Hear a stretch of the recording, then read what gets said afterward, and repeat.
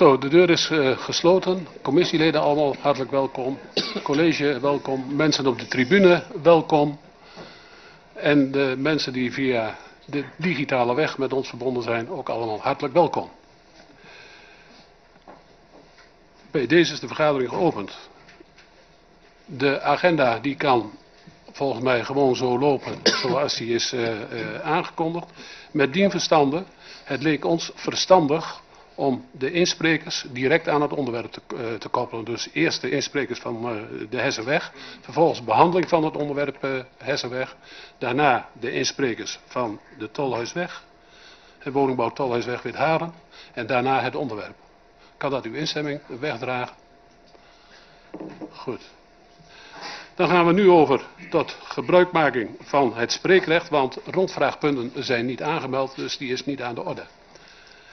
Ik uh, verzoek meneer Schuurhuis naar voren te komen.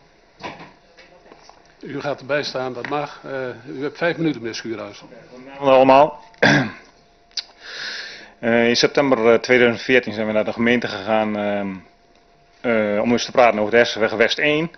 Eh, de boerderij was aan het instorten, dat ging ons aan het hart. En um, er stond te koop bij de makelaar als stadsboerderij met multifunctionele doellijn. We hebben gevraagd wat mogelijk was. De gemeente heeft gevraagd wat zijn jullie plannen. ik heb gezegd ik heb een kleinschalig autobedrijf. En um, het lijkt ons leuk om wonen en werken te combineren. En om dat inpandig te doen. Nou, de gemeente stond daar in de eerste instantie dus niet direct negatief tegenover. Echter wel positief. Laat je plan maar zien en, um, en werk er maar uit. Dat gaf ons het vertrouwen om de boerderij te kopen. Er zijn destijds geen uh, dingen gezegd, het mag wel of het mag niet. Maar een middenweg. Dus we hadden een bepaald vertrouwen daardoor gekregen dat we denken, hé, hey, we gaan de gok wagen. Um, toen hebben we ook eens gekeken wat eigenlijk de ambitie van de gemeente is uh, met vrijkomende agrarische bebouwing. Want het is tenslotte een boerenbedrijf geweest. Het is niet zo dat het een woning is, het is een boerenbedrijf, er stond een bedrijf. En uh, hebben we bijvoorbeeld in de, de erfgoednota van Ommen gekeken. En er staat bijvoorbeeld een zin als onze missie ons erfgoed te beschermen en zorgvuldig te beheren. Het erfgoed is in het gebruik en de beleving een waardevol en gewaardeerd deel uitmaakt van de samenleving. Erfgoed versterkt het toeristisch en recreatief beleid en is een bron voor economische ontwikkeling. Nou, dat, dat laatste heeft hier ook mee te maken, want het een heeft met het ander te maken. Als je zakelijk en privé niet kunt combineren, ja, dan wordt het financieel natuurlijk lastiger. En daarnaast is het zo dat uh, als je het gewoon zo laat liggen zoals het nu is. En je geeft de, uh, de, de schuren en de gebouwen geen tweede functie. Dan krijg je alleen maar verval en verkrotting en dan krijg je een puinhoop. Nou, dat kun je nu daar wel een beetje zien. Uh, wat ons ook erg aan het hart lag is dat, het, dat er nog veel originele details in de woning waren. En op het erf mooie schuren en dergelijke. dat er veel grond omheen zat. Eigenlijk zag ik als ondernemer eigenlijk heel veel kansen. En wij als echtpaar hebben gewoon een hart voor echte oude gebouwen. Waar, waarvan wij vinden dat er al heel veel is afgebroken in de om, omgeving van, van het echt oude. En wij hadden zoiets van, we zien dit echt als een kans om hier weer wat, iets moois van te maken. En dan bedoel ik dus niet dat er dan zo'n boerderette moet komen waarvan de verhoudingen net niet kloppen. Wat je heel veel om je heen ziet, maar echt een gebouw zoals die er vroeger stond. En dan denk ik van, wie kan er nog tegen ons weten als we zulke mooie plannen hebben. Dat was onze gedachte, soms zijn we erin gesprongen. Um, nou, dat kun je bijvoorbeeld ook zien aan, hoe wij de kapschuur hebben gemaakt. Hè. Je kunt uh, zeggen van ja, ik vertrouw het schuurhuis niet. Nou, dan kun je afvragen waarom. Als je bijvoorbeeld daarnaar kijkt, er zijn mensen geweest die hebben gezegd van... Uh, ja, daar kun je eigenlijk niks meer met die kapschuren, maar je, moet je de shovel wel bijzetten of je gooit er uh, golfplaten overheen. Nou, wij hebben hem helemaal teruggebracht in de oude vorm en zijn er nog mee bezig. Dat laat zien dat we hard voor de plek hebben. Um, we willen de boerderij terugbrengen in de oorspronkelijke vorm. Uh, het heeft natuurlijk dan geen zin om er op afstand naar te kijken van uh, het is zo en zo moet blijven. We doen een denkbeeldige glazen stolp over en vroeger was het zo en ik vind het mooi om naar te kijken. Nee, als je een erf echt bij de gemeenschap wil laten horen, dan moet een erf in leven zijn en dan moet er een nieuwe invulling aankomen.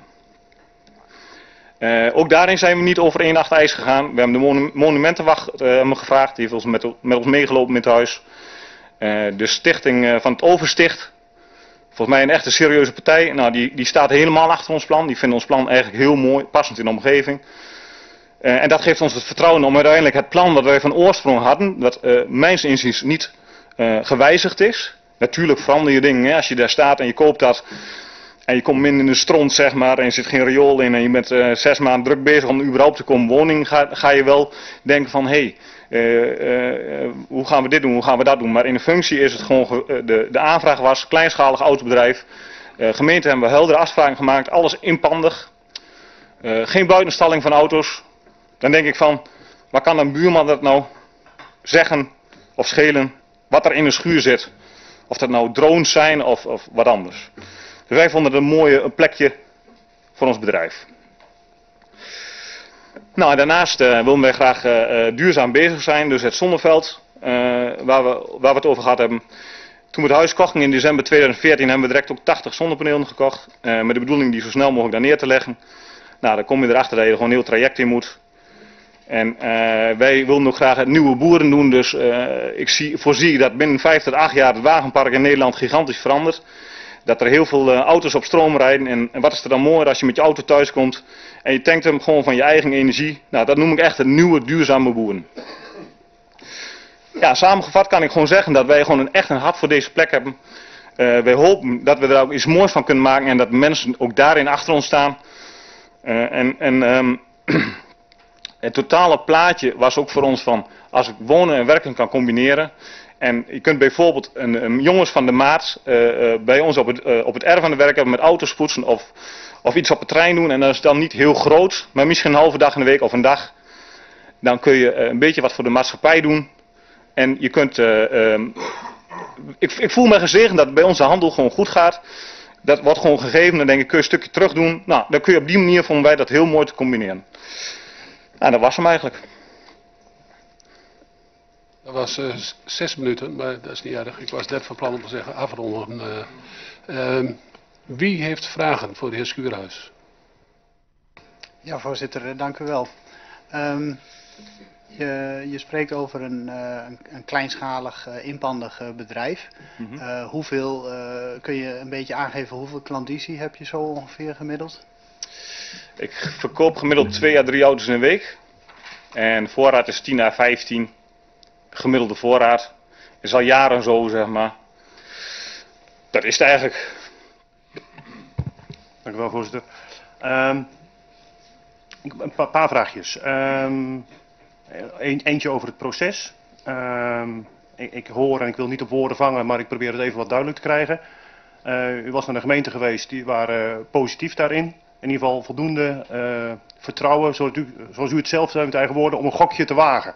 Klopt. Um, en een gokje wagen, uh, ja, doe ik bij, bij, misschien bij de staatsloterij met mijn lot, maar niet als ik een, een bedrijf wil openen waar ik flink moet investeren om te, te renoveren en van alles te investeren. Um, dus kunt u iets nader zijn van wat u bedoelt met voldoende vertrouwen om dit gokje te wagen?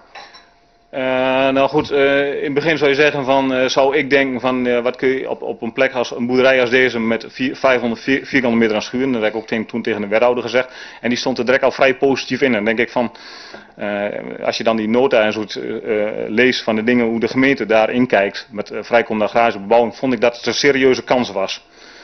En dat is er geen kans op leven met nood, anders halen we niet, zo niet, maar wel een gereden kans. Zo ben ik erin gestapt. En wij vonden het heel belangrijk dat iets wat echt oud is, dat het niet uh, helemaal teloor gaat en vervolgens de shovel eroverheen gaat en een lelijk huis opkomt. Die beide dingen. Uh, op, op zich duidelijk, alleen daaraan gekoppeld van het, het, wordt financieel lastig bij geen koppeling. Dat waren ook letterlijk uw woorden. Mm -hmm. um, en dan, dan kom je toch bij de vraag van, um, ja, hoeveel gok zit erin om dan deze volgorde te bewandelen door eerst iets aan te, aan te kopen. Uh, al te beginnen met in ieder geval de onderdelen die waarschijnlijk sowieso kunnen. En dan vervolgens dat we het hier nu op de agenda hebben en waar natuurlijk nog een beslissing moet vallen. En daar zit natuurlijk toch een, een, een redelijk risico in. Klopt. Ja, mijn uh, onderneming is een en al risico, dus daar ben ik eigenlijk gewend. Dus dat heb ik gewoon doelbewust genomen. Tot dus slot... zekerheid is er niet. Nee, okay. uh, tot slot, voorzitter. Um, in, in, in de stukken uh, gaat het nogal over, ten eerste gaat het over het GOP. Nou, daar, daar zal u ondertussen ook iets van bekend zijn wat dat inhoudt. En een belangrijk onderdeel daarvan is draagvlak. En de, de stukken uh, zeggen daar toch heel duidelijk andere dingen over uh, dan alle geluiden die waarschijnlijk alle politieke partijen hebben ontvangen over, over dit onderwerp.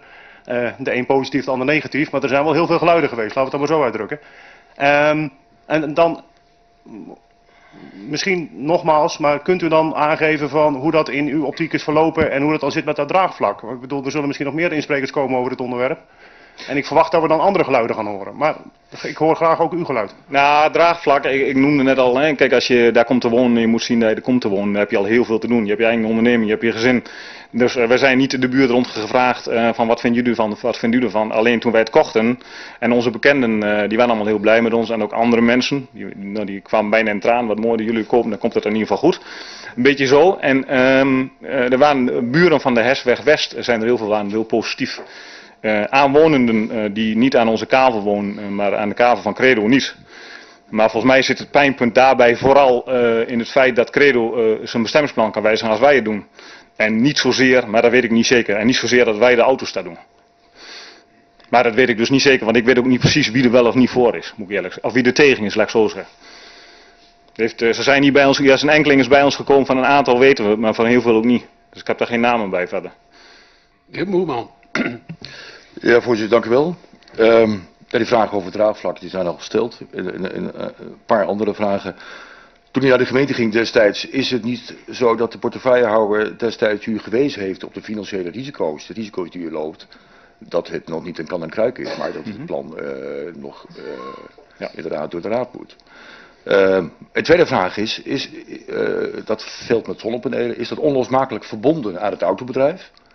Dus het een staat bij, staat bij het ander, of kun je het ook los van elkaar zien? Juist los van elkaar, want ik denk als, als oudbedrijven niet zo mogen, dat ik uiteindelijk misschien nog wel, meer zou willen vragen als zonnepaneel. Maar ik geloof echt in nieuwe energie. Je moet af van aardgas kijken naar slochten wat erin staat. Uh, je moet gewoon naar de groene energie. En ik denk echt met vijf of tien jaar het wagenpark gewoon niet werken. Dus dan wil iedereen graag van zijn eigen stroom rijden. Zeg maar. Dus dat staat los van elkaar. En financieel, ja nogmaals, uh, zoals ik de handel doe, loop ik al heel veel risico. Ik ben het eigenlijk in die zin gewend. Dus uh, het is niet zo dat wij uh, het gekocht hebben. zonder oud bedrijf kan het niet. Zo niet. Alleen wij vinden het totale plaatje, zoals wij er voor ogen aan, gewoon een mooi plaatje. Mevrouw Schunselaar. Ja, dank u wel voorzitter. Ik heb een klein vraagje. U noemde net de maat. U hebt al contact gehad met jongens van de maat. Dat was letterlijk, waren letterlijk uw woorden. Kunt u iets meer daarover vertellen? Gewoon korter. Want... Uh, Eddie van Lente is in 2012 of 2013 nog bij me geweest en heeft gevraagd van kunnen jullie wat jongens van, van ons uh, bij jou meewerken uh, als we zijn met auto's helpen. En, nou, wij, wij hebben gewoon chronisch tekort aan plekken.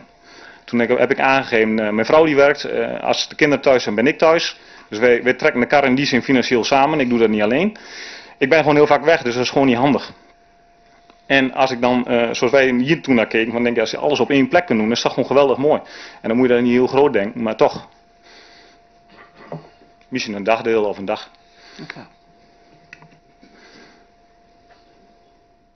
De heer De Vries Robles. Dank u wel, voorzitter. Volgens mij zijn jullie al uh, wat langer bezig met de ontwikkeling van de plannen. En ook in de eerste aanvraag bij de gemeente was sprake van een, laten we zeggen, een inrichting van het erf en het vestigen van een kleinschalig autobedrijf.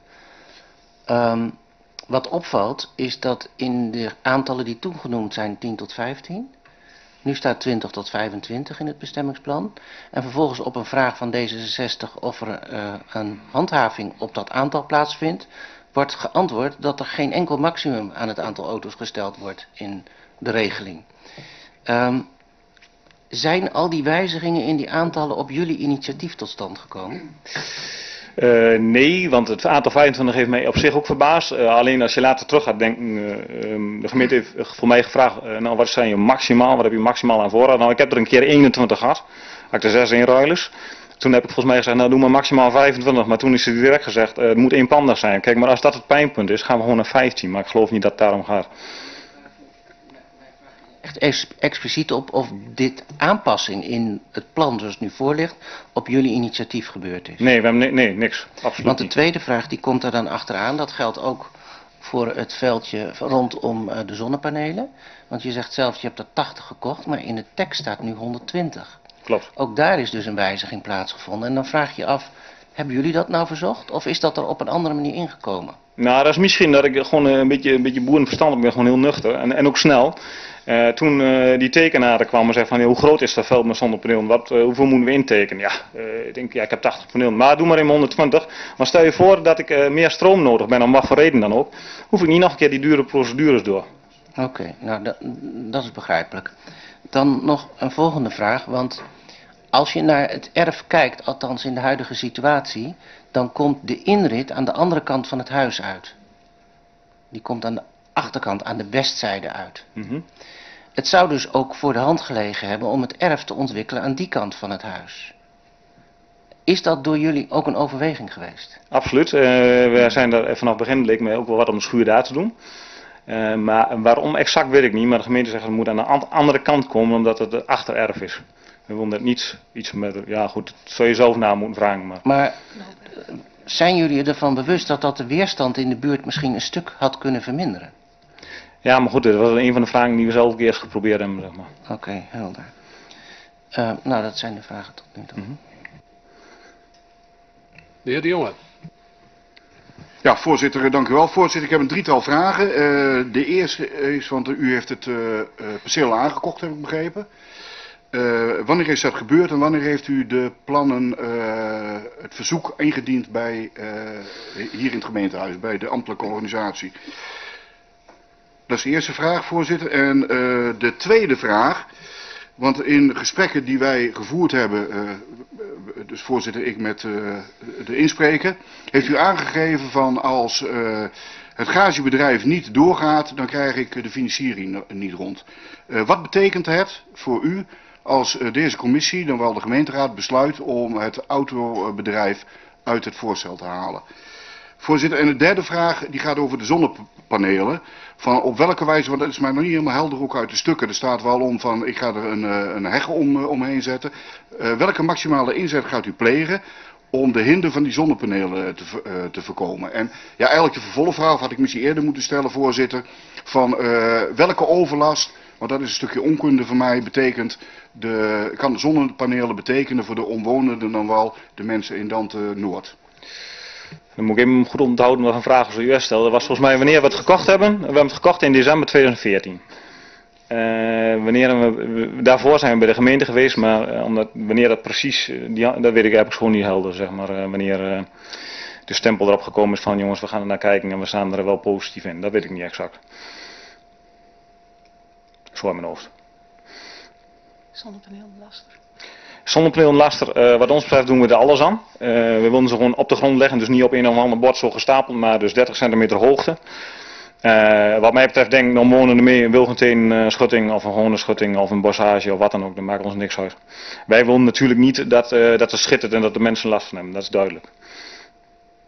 De derde vraag ging over de financiering.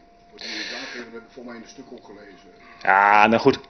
Uh, het, ik denk dat het gewoon boerenlogica is dat het een met het ander te maken heeft. Dat, je, uh, dat het gewoon financieel makkelijker is als je het, het kunt combineren, maar ik ga er niet viert op. De heer Dunnewind. Dank u wel, uh, voorzitter. Even voortbordurend op de vraag van mijn buurman. het gaat dan even over, over, de financiën. Volgens mij is een van de pijlers onder dit stuk is dat om het, de autohandel te kunnen verplaatsen van de Rotterdam naar de Hessenweg West, is om, de, om het financieel haalbaar te maken. in hoeverre u zegt nee, ik ga er niet failliet op, hoor ik u net zeggen. dus, dus in hoeverre is dat zeg maar, uiteindelijk ook weer besproken met de ambtenaar of met de wethouder? Ja, dat, dat, dat wordt al genoemd. Van bent. Het, het, dat hebben we genoemd, maar um, dan breng je, breng je je plan en zeg je van ik vind het makkelijk om te combineren. Het is financieel makkelijker, dat is logisch, hoef je geen dure grond te kopen. Maar niet van, uh, als we het een niet doen, kan het ander absoluut niet. Of uh, zo niet. Dus het is niet zo dat als het oudbedrijf uh, niet, uh, als stel dat het oudbedrijf kan en niet, uh, dat ik dan financieel dan een probleem heb of zo. Zo is het gewoon niet.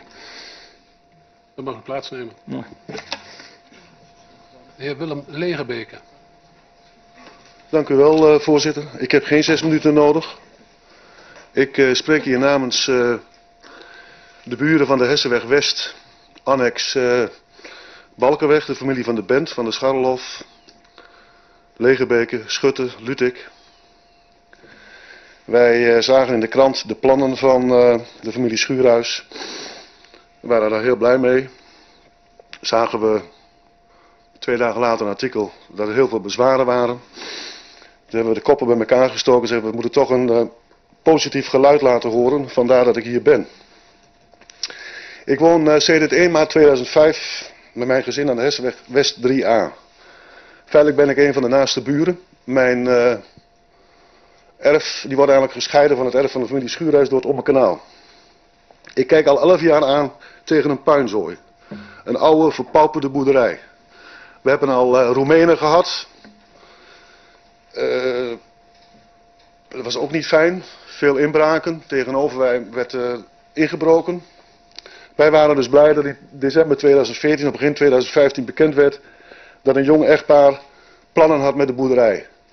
We zagen in het begin al dat de schuur, die eigenlijk op instorten stond, de kapschuur, dat die fraai werd gerenoveerd. Als je nu kijkt naar die rieten kap, is het gewoon een heel fraai gezicht. Nu moet de oude boerderij nog.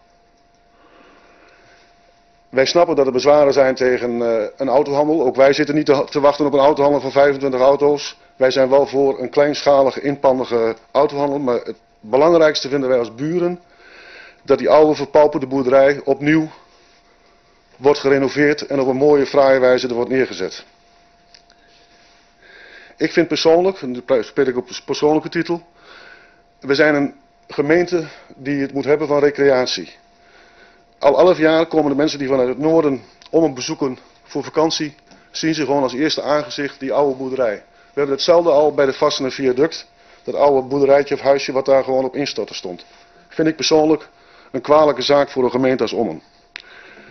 Dus wij hebben als burengemeente dit voorstel van de familie Schuurhuis positief te moeten ondersteunen. En we hopen van harte dat de Raad hieromtrent ook een positief besluit neemt. Ik dank u voor de aandacht.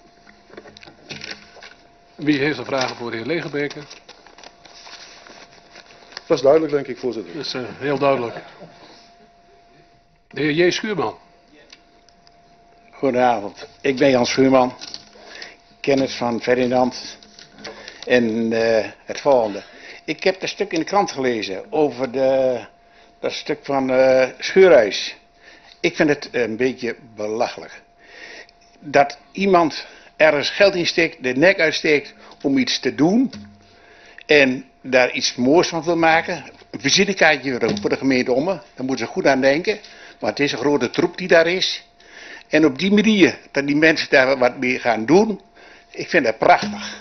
En dat er mensen komen die het bezwaar hebben, kan ik begrijpen. Maar doe dat op een reële manier. En niet zo, uh, of ga naar Schuurhuis toe en zeg, hallo, kan het iets anders of doe dat iets anders. Dat zou ik zeggen, dat vind ik fantastisch. Maar zoals het nou is, net wat Legerbeek net zegt, de noordkant, het is groot bewennen. Schuurhuis die knapt er een stukje van op. Ik denk dat de gemeente daar ook een stukje bij kan dragen. Dus, om te zeggen van, wij, wij, wij, wij doen dat voor jullie, dan gaan we mee akkoord. Ik denk dat het heel belangrijk is. Kijk eens hier vast, bij Vreesmee, dat oude ding. Is dat schandalig iets voor de gemeente? Daarom dat is aangezegd van het westen, van Ommen. Als daar ook eens iets moois van komt, is dat niet prachtig? En dat vind ik nou van slot, maar precies hetzelfde. Ik vind het hartstikke mooi. Moet je veronderstellen, die mensen die er een beetje bezwaren tegen hebben. Daar zou een boerderij of een hobbyist komen met varkens. Hè? En laat maar zeggen, een lekker varkenhok, dat is uh, leuk. En dan een beetje westen, noordwestenwind. Nou, ik wil de Middelstraat nog eens zien horen. Wat is ding boeren staat. Ik vind op dit moment, Schuurhuis heeft een heel mooi plan. Laten we het mee eens zijn. Dank u wel. Vragen voor de heer Schuurman. Geen vragen voor de heer Schuurman. Dan vraag ik meneer Weller naar voren. Maar kort maar krachtig. Uh, goedenavond, uh, meneer de voorzitter en geachte college-raadsleden. De uh, vorige burgemeester heeft het principeakkoord afgegeven betreffende het perceel Hessenweg West 1. aanvankelijk is het gepresenteerd dat de boerderij zou worden opgeknapt en in de kapschuur zouden 10 tot 15 auto's komen. Nou, dat was het vertrekpunt. Dat was ook het vertrekpunt voor u als raadsleden en als BMW op dat moment. En wat ik dan niet begrijp is waarom er op dit moment in de huidige plannen dan zo enorm wordt afgeweken. Uh, de bestemmingsplannen die zijn in 1975 er, zeg maar, allemaal gehouden aan koninklijk besluit. En daar wordt eigenlijk nu totaal aan voorbij gegaan. De bezwaren die wij hebben geschreven als omwonenden in een brief van 18 oktober 2015, die lijken eigenlijk allemaal verwerkt in uh, de huidige plannen. Hij lijkt toegeschreven te zijn naar een gewenste situatie voor de heer Schuurhuis. Hetgeen wat eigenlijk nadeliger is voor de omgeving uh, en ten voordele is van de familie Schuurhuis op dit moment. En waarom is er dan eigenlijk geen aandacht voor de omgeving? Waarom zijn omwonenden niet betrokken uh, door de gemeente? En over de communicatie van de gemeente ben ik dan ook absoluut niet te spreken. Uh, in het gemeentelijke omgevingsplan noemt u heel duidelijk een aantal spelregels hè, de, ten uitvoering van het principeakkoord. Ten eerste is het informeren van belanghebbenden uh, op de voorgenomen initiatieven belangrijk. En ten tweede was acceptatie en draagvlak. Uh, bij het punt uh, informeren is de buurt inderdaad uitgenodigd in de vakantieperiode. Niet iedereen kon toen. Um, maar de plannen zijn inmiddels veel meer aangepast dan toen. Hè. 10, 10 tot 15 auto's zijn inmiddels 25 auto's geworden. de schuur van 300 vierkante meter die aan onze zijde wordt geplaatst plus 120 uh, zonnepanelen die dan moeten worden geplaatst. Dat is allemaal uh, gewijzigd. En op dat punt uh, zijn omwonenden eigenlijk niet geïnformeerd door de heer Schuurhuis, maar ook niet door de gemeente. En dat is eigenlijk in strijd met het gemeentelijke omgevingsplan.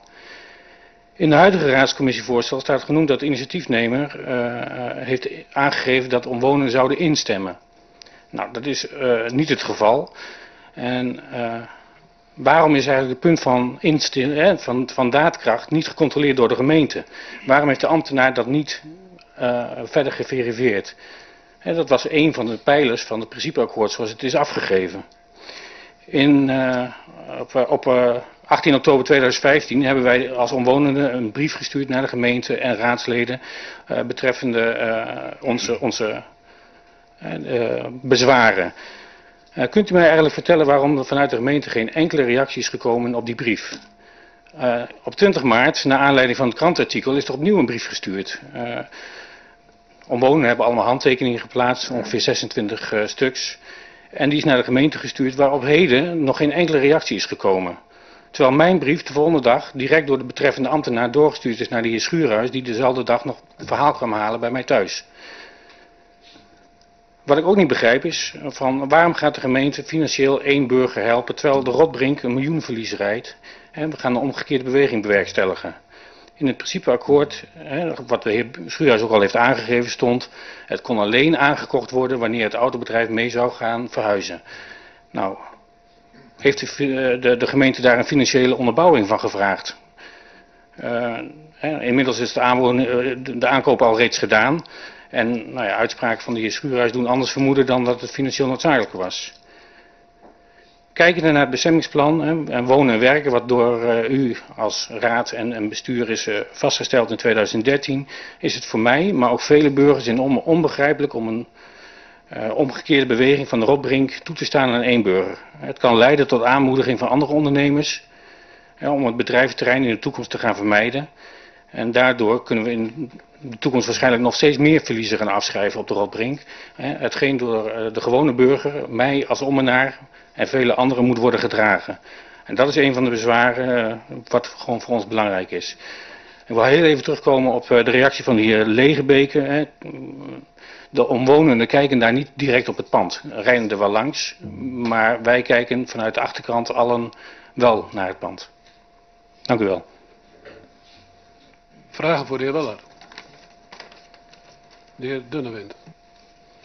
Dank u wel, eh, voorzitter. Um, meneer, uh, wel, wanneer zou het voor u acceptabel zijn, uh, als we kijken naar de plannen van meneer Schuurhuis?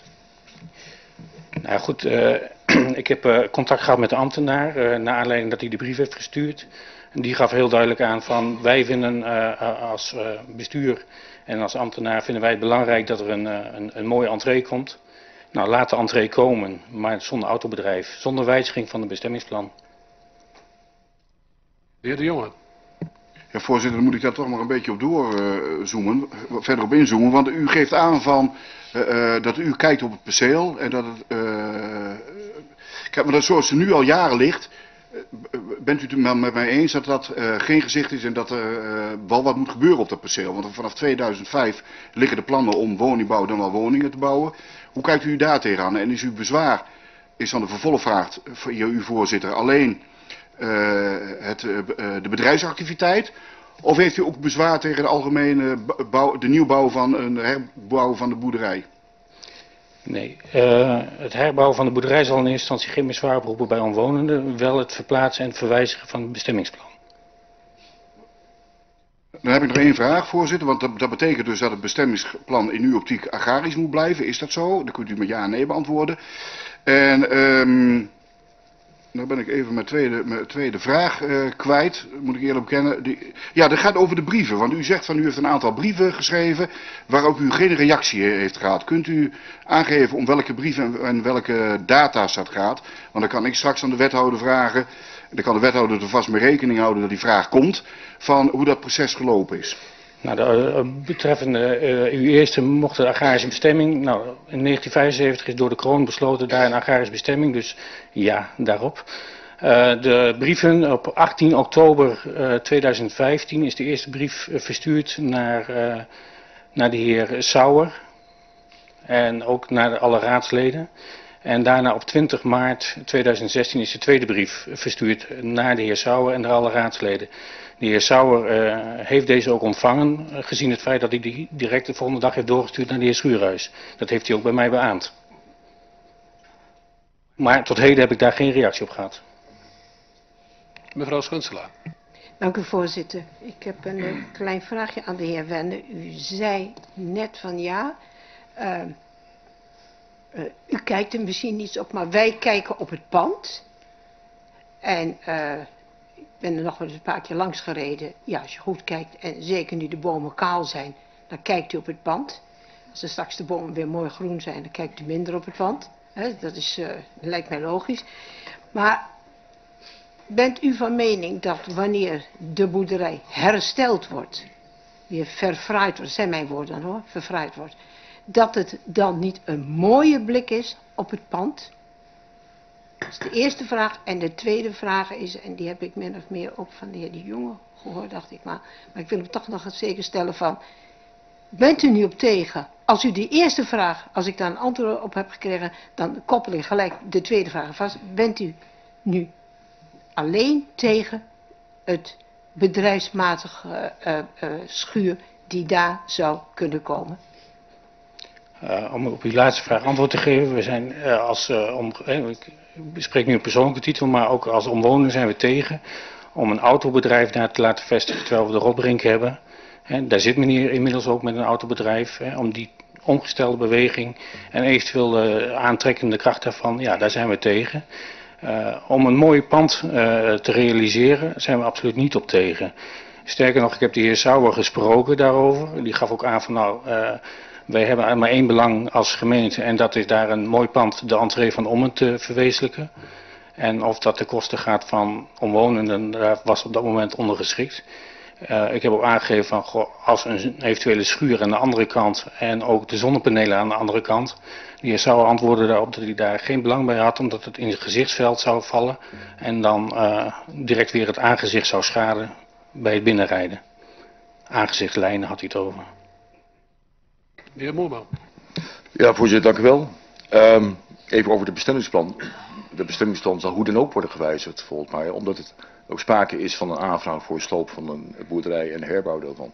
Dus los staat van een oud bedrijf, dat zal het bestemmingsplan hoe dan ook gewijzigd moeten worden.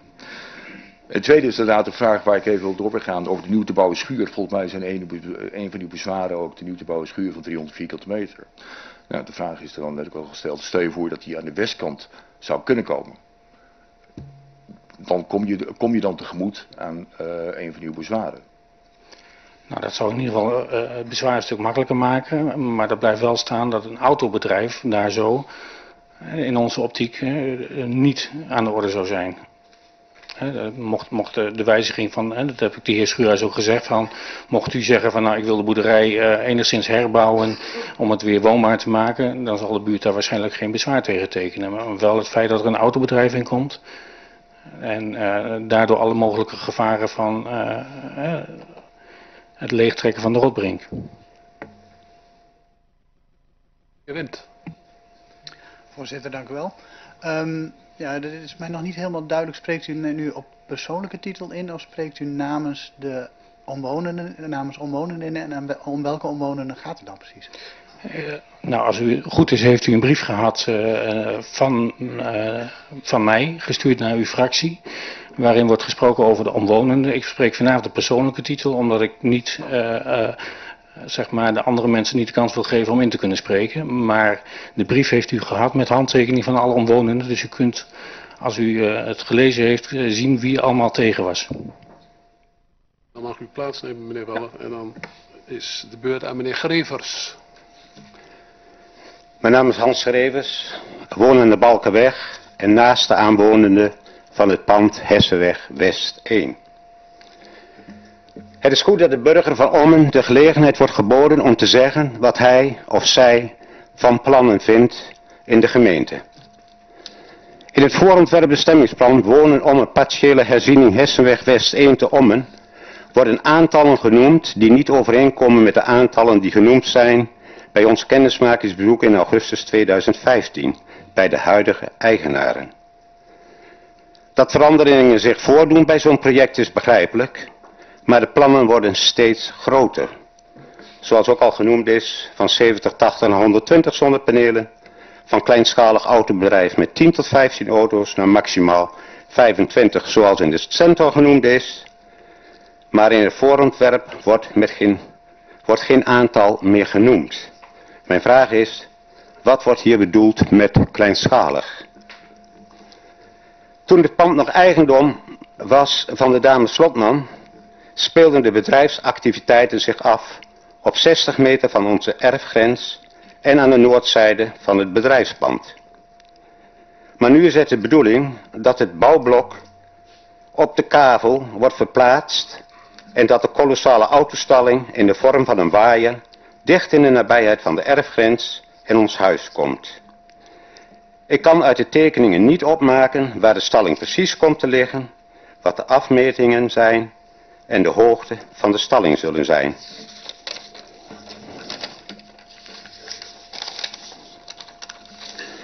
In het voorontwerp wordt gesproken over kwaliteitsimpulsen en verbeteringen. Het uitzicht van de omwonenden wordt belemmerd door de autostalling. Ook als je vanuit het noorden om het binnenkomt, kijk je ook tegen de voor- en zijkant van de autostalling aan.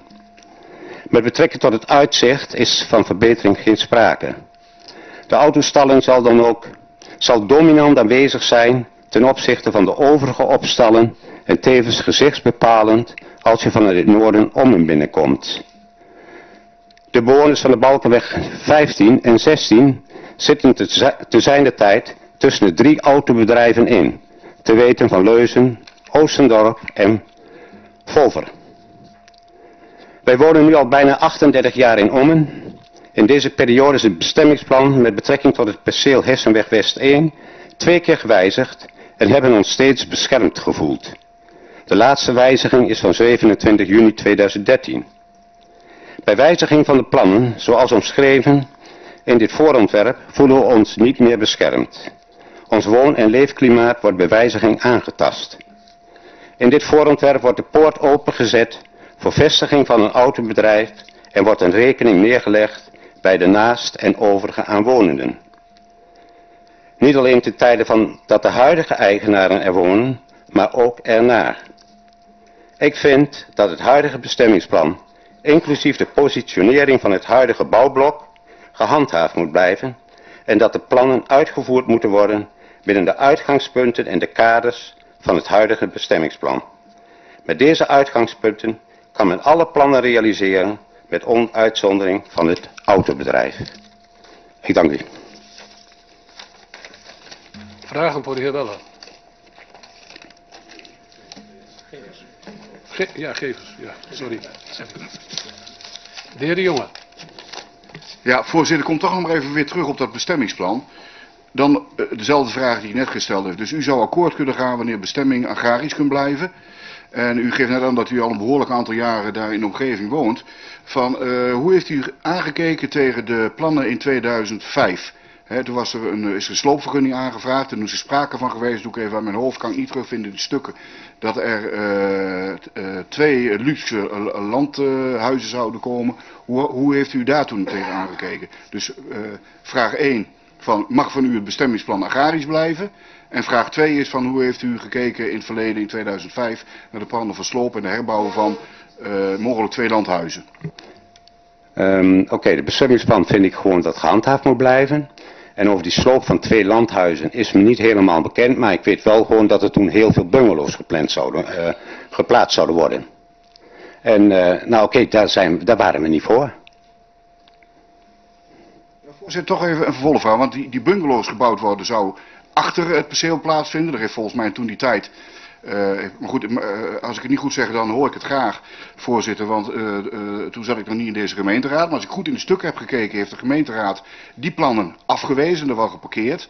Maar de sloop van de, eh, het huis Slotman, daar is heel veel discussie over geweest, in, in, eh, ook in het kader van monumenten en cultuurhistorische waarden. En dan zouden daar op dat perceel zouden gesloten worden en zouden twee landhuizen gebouwd worden. Eh, hoe, hoe keek u dan sec tegen die, want die woningbouw daarachter nogmaals, die, werd- die werd door de gemeenteraad afgestemd. Maar die twee landhuizen waren ze in principe als gemeenteraad mee akkoord. Hoe heeft u daar toen tegenaan gekeken? Ik, nou, ik moet eerlijk zeggen, dat is me helemaal niet bekend dat er twee landhuizen zouden komen. Credo, nou goed, dan gaan we verder op de inhoud. Eh, Elder. Het is mij niet bekend. Heer Dunnewind. Dank u wel, voorzitter. Even één vraag, eh, meneer Grevens. U hebt het over het wonen- en leefklimaat, dat het wordt aangetast hè, en dat eh, de rekening op de omwoners, eh, wordt, bij de omwoners wordt neergelegd. Mhm. Kunt u wat meer vertellen wat die rekening is?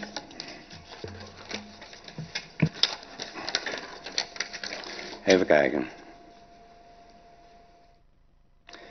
De rekening is gewoon het risico dat er zijne tijd het perceel is afgesplitst, dat er zijne tijd ook activiteiten of woningbouw of misschien wel bedrijfsactiviteiten op het afgesplitste perceel komt. Op het weiland. Ja, op het weiland, wat nu nog agrarisch is. Ehm, en, gewoon, en ik vraag me ook af gewoon van de, de grootte van de, van, van de autostalling, of dat een meerwaarde heeft voor de omwonenden. Want ik vind zelf ook gewoon van, ik heb het gisteravond nog eens even goed bekeken, als je gewoon vanuit om een Noord binnenkomt, kijk je volop waar de autostalling komt te staan. En zo zal ook vanuit de achterkant van de Merelstraat ook volop op die autostalling terechtkomen, het uitzicht.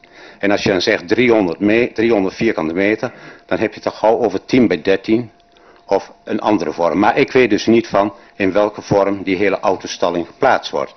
Maar ik heb wel stellig het idee dat het wel een, iets een gezichtsbepalend wordt van, eh, van, met betrekking tot de entree in Ommen ten opzichte van de, de woning die er zo straks gerenoveerd of opnieuw gebouwd wordt.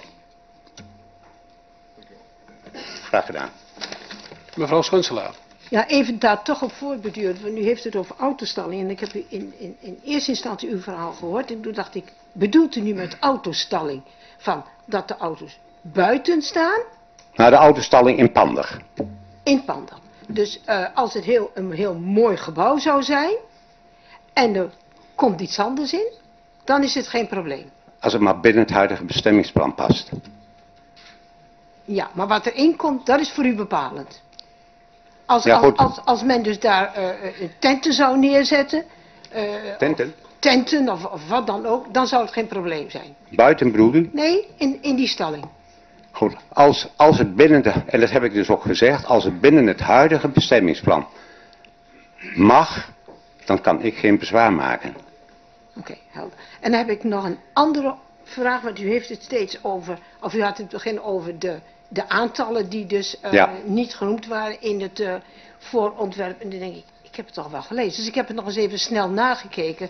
In het, eh, in het raadsvoorstel staan gewoon dus de, de getallen in van de zonnepanelen en van de, ehm, eh, van de aantal auto's. Die staan daar in. Ja, gewoon, u hebt het dus nu over 25. Ja, 20 tot 25 auto's. Oké, dus dat is concreet. Staat erin. Nou, dan weten we dat. Maar omdat het in het voorontwerp helemaal niet meer benoemd wordt. Dus dan kan het ook groter worden en het kan kleiner worden. Oké, vraag ik straks aan de wethouder. Oké.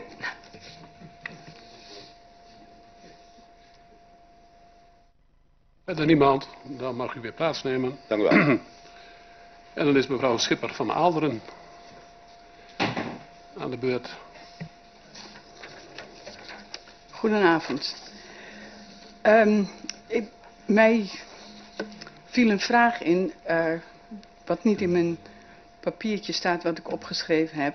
Meneer Schuurhuis heeft het over de functie van stadsboerderij. eh. en dat had die boerderij, maar heeft die boerderij nog steeds de bestemming stadsboerderij? Want dan zal ook die functie of die bestemming veranderd moeten worden. Maar goed, dit is even een vraag vooraf. Ehm, de grond en de woning van de dame Slotman stond lange tijd te koop. Toen Willem Legebeke grond van Credo, de projectontwikkelaar, kocht, grond grenzend aan zijn grond, ben ik naar de makelaar in Ommen gegaan die de grond in de verkoop had. Ik vertelde hem dat ik geïnteresseerd was in een stuk grond aanliggend aan onze woning. Wij wonen aan de Merelstraat. De makelaar vertelde mij dat hij samen met Credo bezig was een plan te ontwikkelen om gronden aanliggend aan de tuinen van de bewoners van de Merelstraat en Koperwiekstraat te koop aan te bieden. Informeer maar eens bij de buren of ze belangstelling hebben. Nou, in het verleden hebben wij een strook grond van de gemeente gekocht achter onze woning en dat hebben wij ook allemaal gezamenlijk gedaan. Toen ik een tijd later hoorde dat de familie Schuurhuis de boerderij en wat omliggende grond gekocht had, ben ik weer naar Sallandgoed gegaan. Ik kreeg te horen, Credo had de verkoop van de grond ingetrokken. Credo wacht af of de familie Schuurhuis een bestemmingsplanwijziging krijgt om de boerderij te restaureren en ook om een autobedrijf van het industrieterrein naar, van het industrieterrein naar de Hessenweg West te verplaatsen, vertelde de makelaar mij. De schrik sloeg me om het hart. Industrieterrein op deze plek en dat terwijl er al zoveel afgeschreven is op het industrieterrein Rotbrink. Voor mij viel het niet te rijmen. En waarom heeft Credo de verkoop van de grond, weliswaar tijdelijk, stopgezet? Wat voor perspectief, perspectief biedt dit voor hen? De familie Schuurhuis heeft de kapschuur prachtig gerestaureerd en de hooiberg ziet er schitterend uit. Complimenten. Wat dat betreft zou je mogen verwachten dat het met de andere plannen ook goed komt. Maar wat als zij een ander op enig ander moment gaan verkopen? Hoe heilig is het dan dat zich hier alleen kleinschalig bedrijf mag vestigen? En dan zou de bestemmingsplanwijziging doorgaan, dan wil ik een pleidooi houden om de schuur aan de andere zijde van de boerderij te bouwen. Want zoals ook al eerder gezegd, een groot aantal mensen kijken er echt pal op.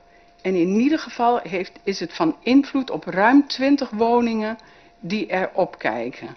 En echt van de noordkant is er niet veel, uh, niet veel zicht op door de begroeiing.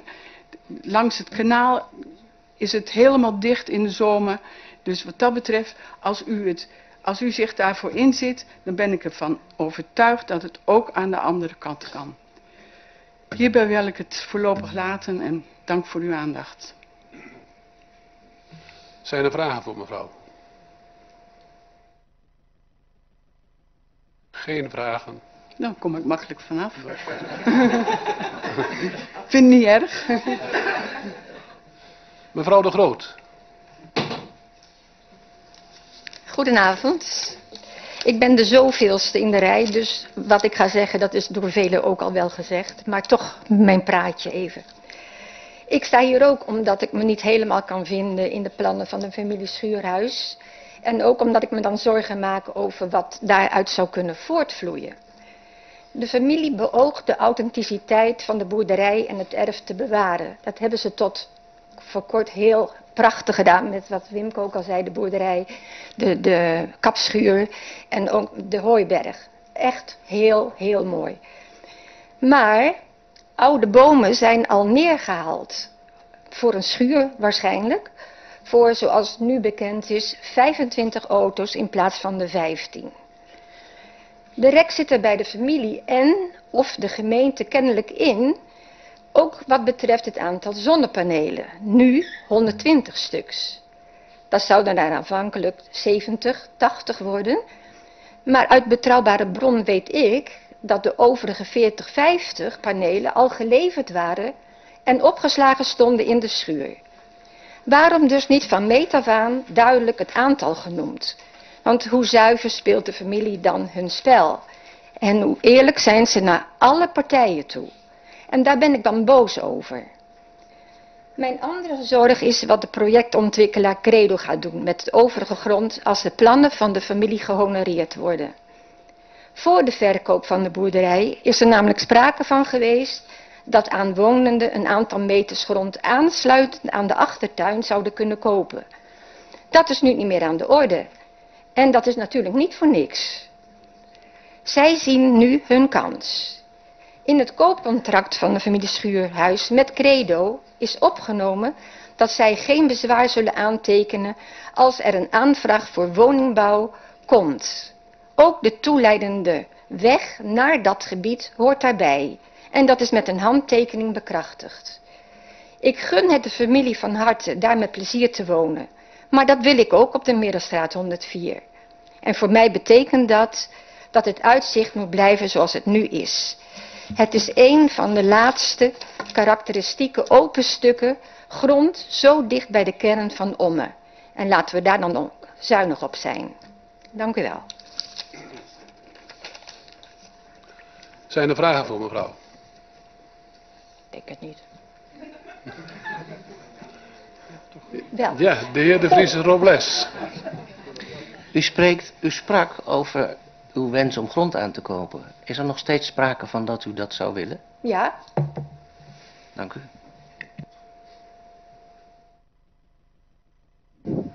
dank u wel. De heer Den Besten. Goedenavond, mijn naam is Rolf de Beste. Ik ben de achterbuurman van de familie Schuurhuis. Ik las in de krant over de plannen van familie Schuurhuis om een autohandel in mijn achtertuin te beginnen. Ik heb informatie opgevraagd bij de gemeente Ommen. Toen zag ik staan in het gemeentelijk omgevingsplan Ommen, speelregel 2, u hebt een inspanningsverplichting om draagvlak te verkrijgen om uw initiatief bij de belanghebbenden. Nu staat er bij de uitwerking van de spelregels, initiatiefnemer is in gesprek gegaan met omwonenden. De naaste omwonenden zijn op de hoogte en kunnen zich vinden in de gewenste plannen.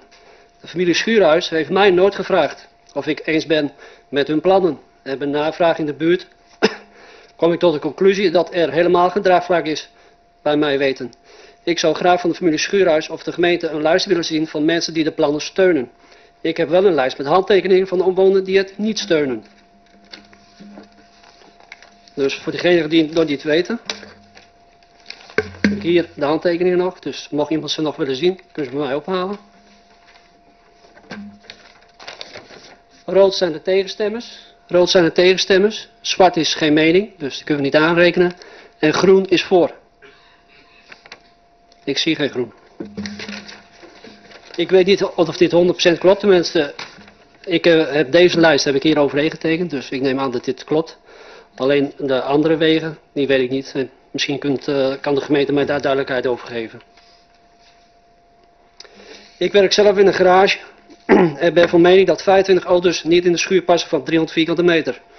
Onze showroom is ruim 300 vierkante meter, er staan 15 auto's in. Als er meer in zouden staan, kunnen we de auto's niet meer fatsoenlijk naar buiten rijden. En krijgen we veel schade door als de deur van een auto open zou doen, deze dan tegen een andere auto zou stoten. Waar laat de familie Schuurhuis de andere auto's? En wie controleert straks of de auto's wel in de schuur staan en niet buiten in het weiland? Ik ben ook van mening dat een autohandelaar van 25 auto's geen kleine handelaar is. Volgens mij worden de auto's die verkocht zijn ook afgeleverd met APK en garantie. Dan ontkom je er mijns inziens ook niet aan om dezelfde werkzaamheden aan de auto's te verrichten die in een volwaardige garage ook gebeuren. En als je de werkzaamheden ergens anders laat doen, dan krijg je enorm veel heen en weer rijden van auto's, wat weer extra overlast in de buurt geeft. Ik dank u voor uw aandacht. Vraag voor de heer De Besten. De heer Dunnewind. U werkt zelf in een bagage. In hoeverre is er sprake van eh, dat u belangen heeft dat hij daar niet komt? Ik, ik ben geen mede-eigenaar en ik verdien er ook geen meer salaris door dus.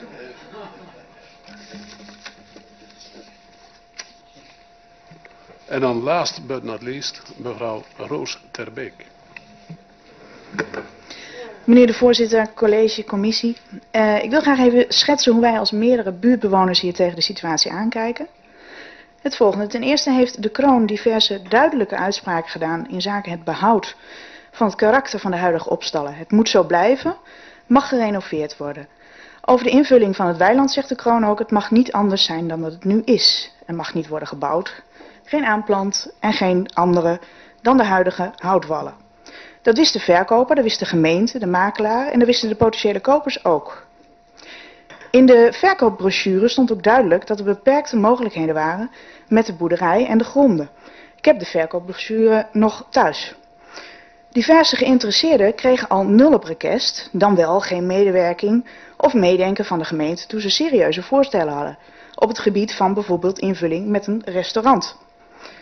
Toch zagen de huidige bewoners er heil in en kochten de boerderij en een deel van het land.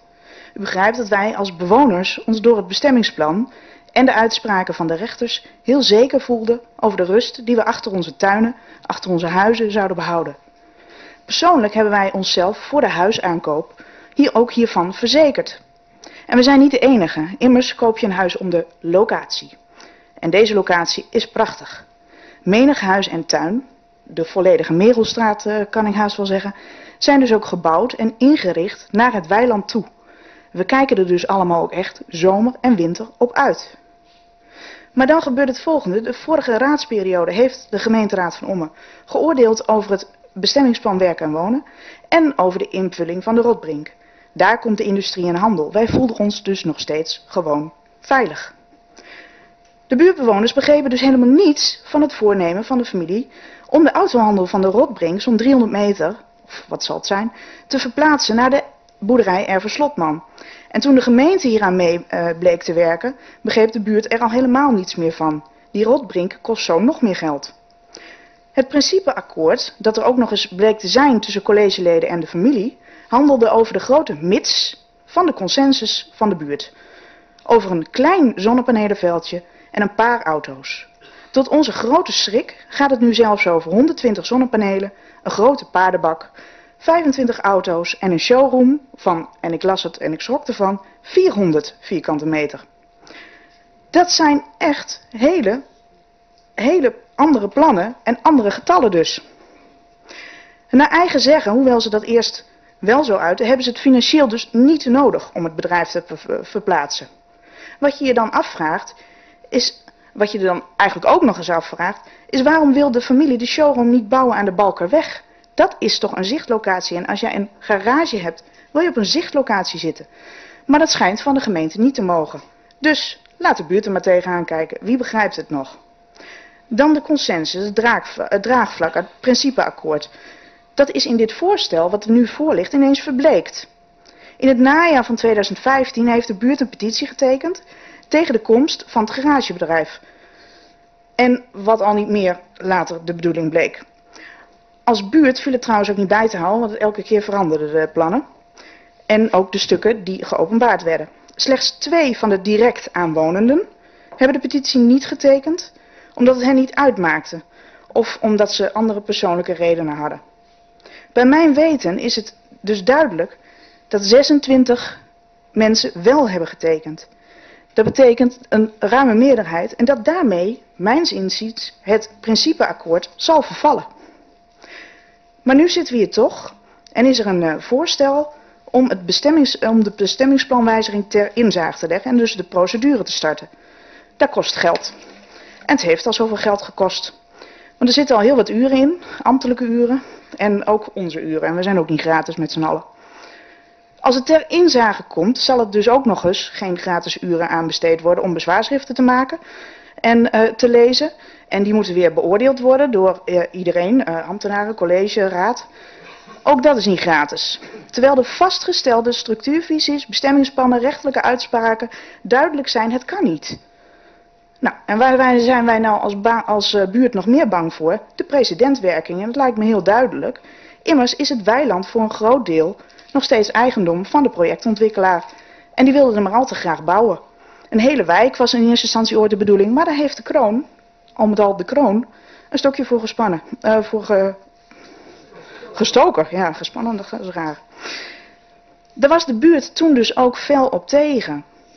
Dus, waar zijn wij bang voor? Wat als de nieuwe eigenaar deze familie het wel mag? Dan zijn wij bang dat wij straks alsnog een wijk of een bedrijf recht achter onze achtertuinen hebben. En ook dat gaat veel ellende, emoties, tijd en geld kosten. Dus weer kostbare uren van ambtenaren, raad en college. Die, ons en, en die van ons en onze advocaten waarschijnlijk. Want we blijven ons toch echt verzetten. De Rotbrink is de plaats en niet de ervenslotman. De instelling van de gemeente van Yes We Can vinden we prachtig. Maar ik leer mijn kinderen dat nee ook een antwoord is. En als wij nou aan de raad eens even vragen om dit tegen te houden, kunt u ons dan zeggen van yes we can in plaats van nee. Vragen voor mevrouw TB. De heer Remmers.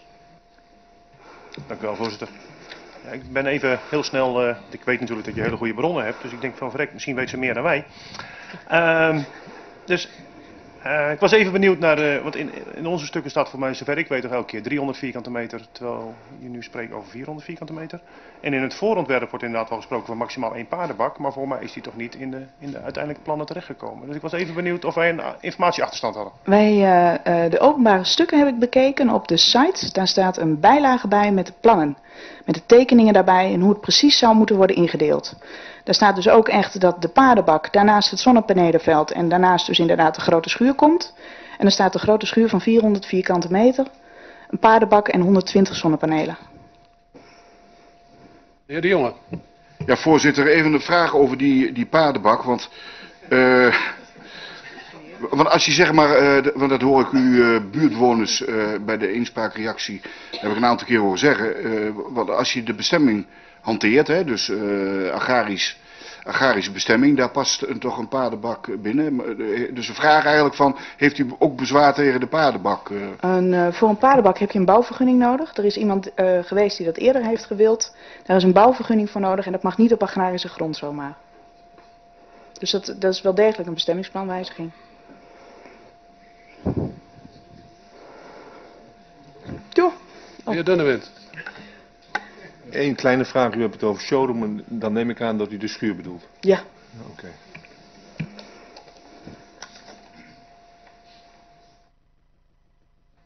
Dan is uh, de procedure als volgt. We gaan nu over tot behandeling met de commissie. En de insprekers die mogen na behandeling in de commissie eventueel nog weer een weergave doen. En dan, Voorzitter. Heel kort. En dan stel ik nu voor om over te gaan tot behandeling van het onderwerp. Voorzitter, ik heb even behoefte aan schorsing. Dan uh, schors ik de vergadering tijdelijk. Als iedereen uh, zijn plaats inneemt, dan kunnen we weer verder. Ik uh, heropen de vergadering. Wethouder de Keurst vroeg om een schorsing en die geef ik dus nu het woord. Voorzitter, dank u wel. Zoals een aantal raadsleden al hadden opgemerkt en een aantal insprekers ook hadden opgemerkt, is een van de bouwstenen het financiële aspect. Op bladzijde 2 staat om het eh, plan financieel haalbaar te maken, wordt voorgesteld om het uh, autobedrijf van de Rotbrink te verplaatsen naar Hessenweg 1. En met name bij de insprekers tegen dit plan is het autobedrijf, de komst van het autobedrijf, een hot issue. Om deze twee redenen heeft het college besloten het plan terug te nemen, te heroverwegen en met een aangepast plan Hessenweg 1 terug te komen. Dank u wel. Waar van akte? Ja, voor nu. Dus het uh, plan Hessenweg West 1 is nu beëindigd, de behandeling. Degene die naar huis wil, die geef ik nu de gelegenheid, die geef ik nu de gelegenheid om de zaal te verlaten. Voorzitter, stelt u ons als commissie niet in de gelegenheid om te reageren op hetgene wat de wethouder zegt? Want ik, ik heb uh, wel een aantal prangende vragen. Want, uh, dus ik zou, mijn voorstel zou zijn, procesvoorstel, om uh, toch nog even een rondje te maken over dit onderwerp. Voorzitter, de LPO heeft daar ook sterk behoefte aan.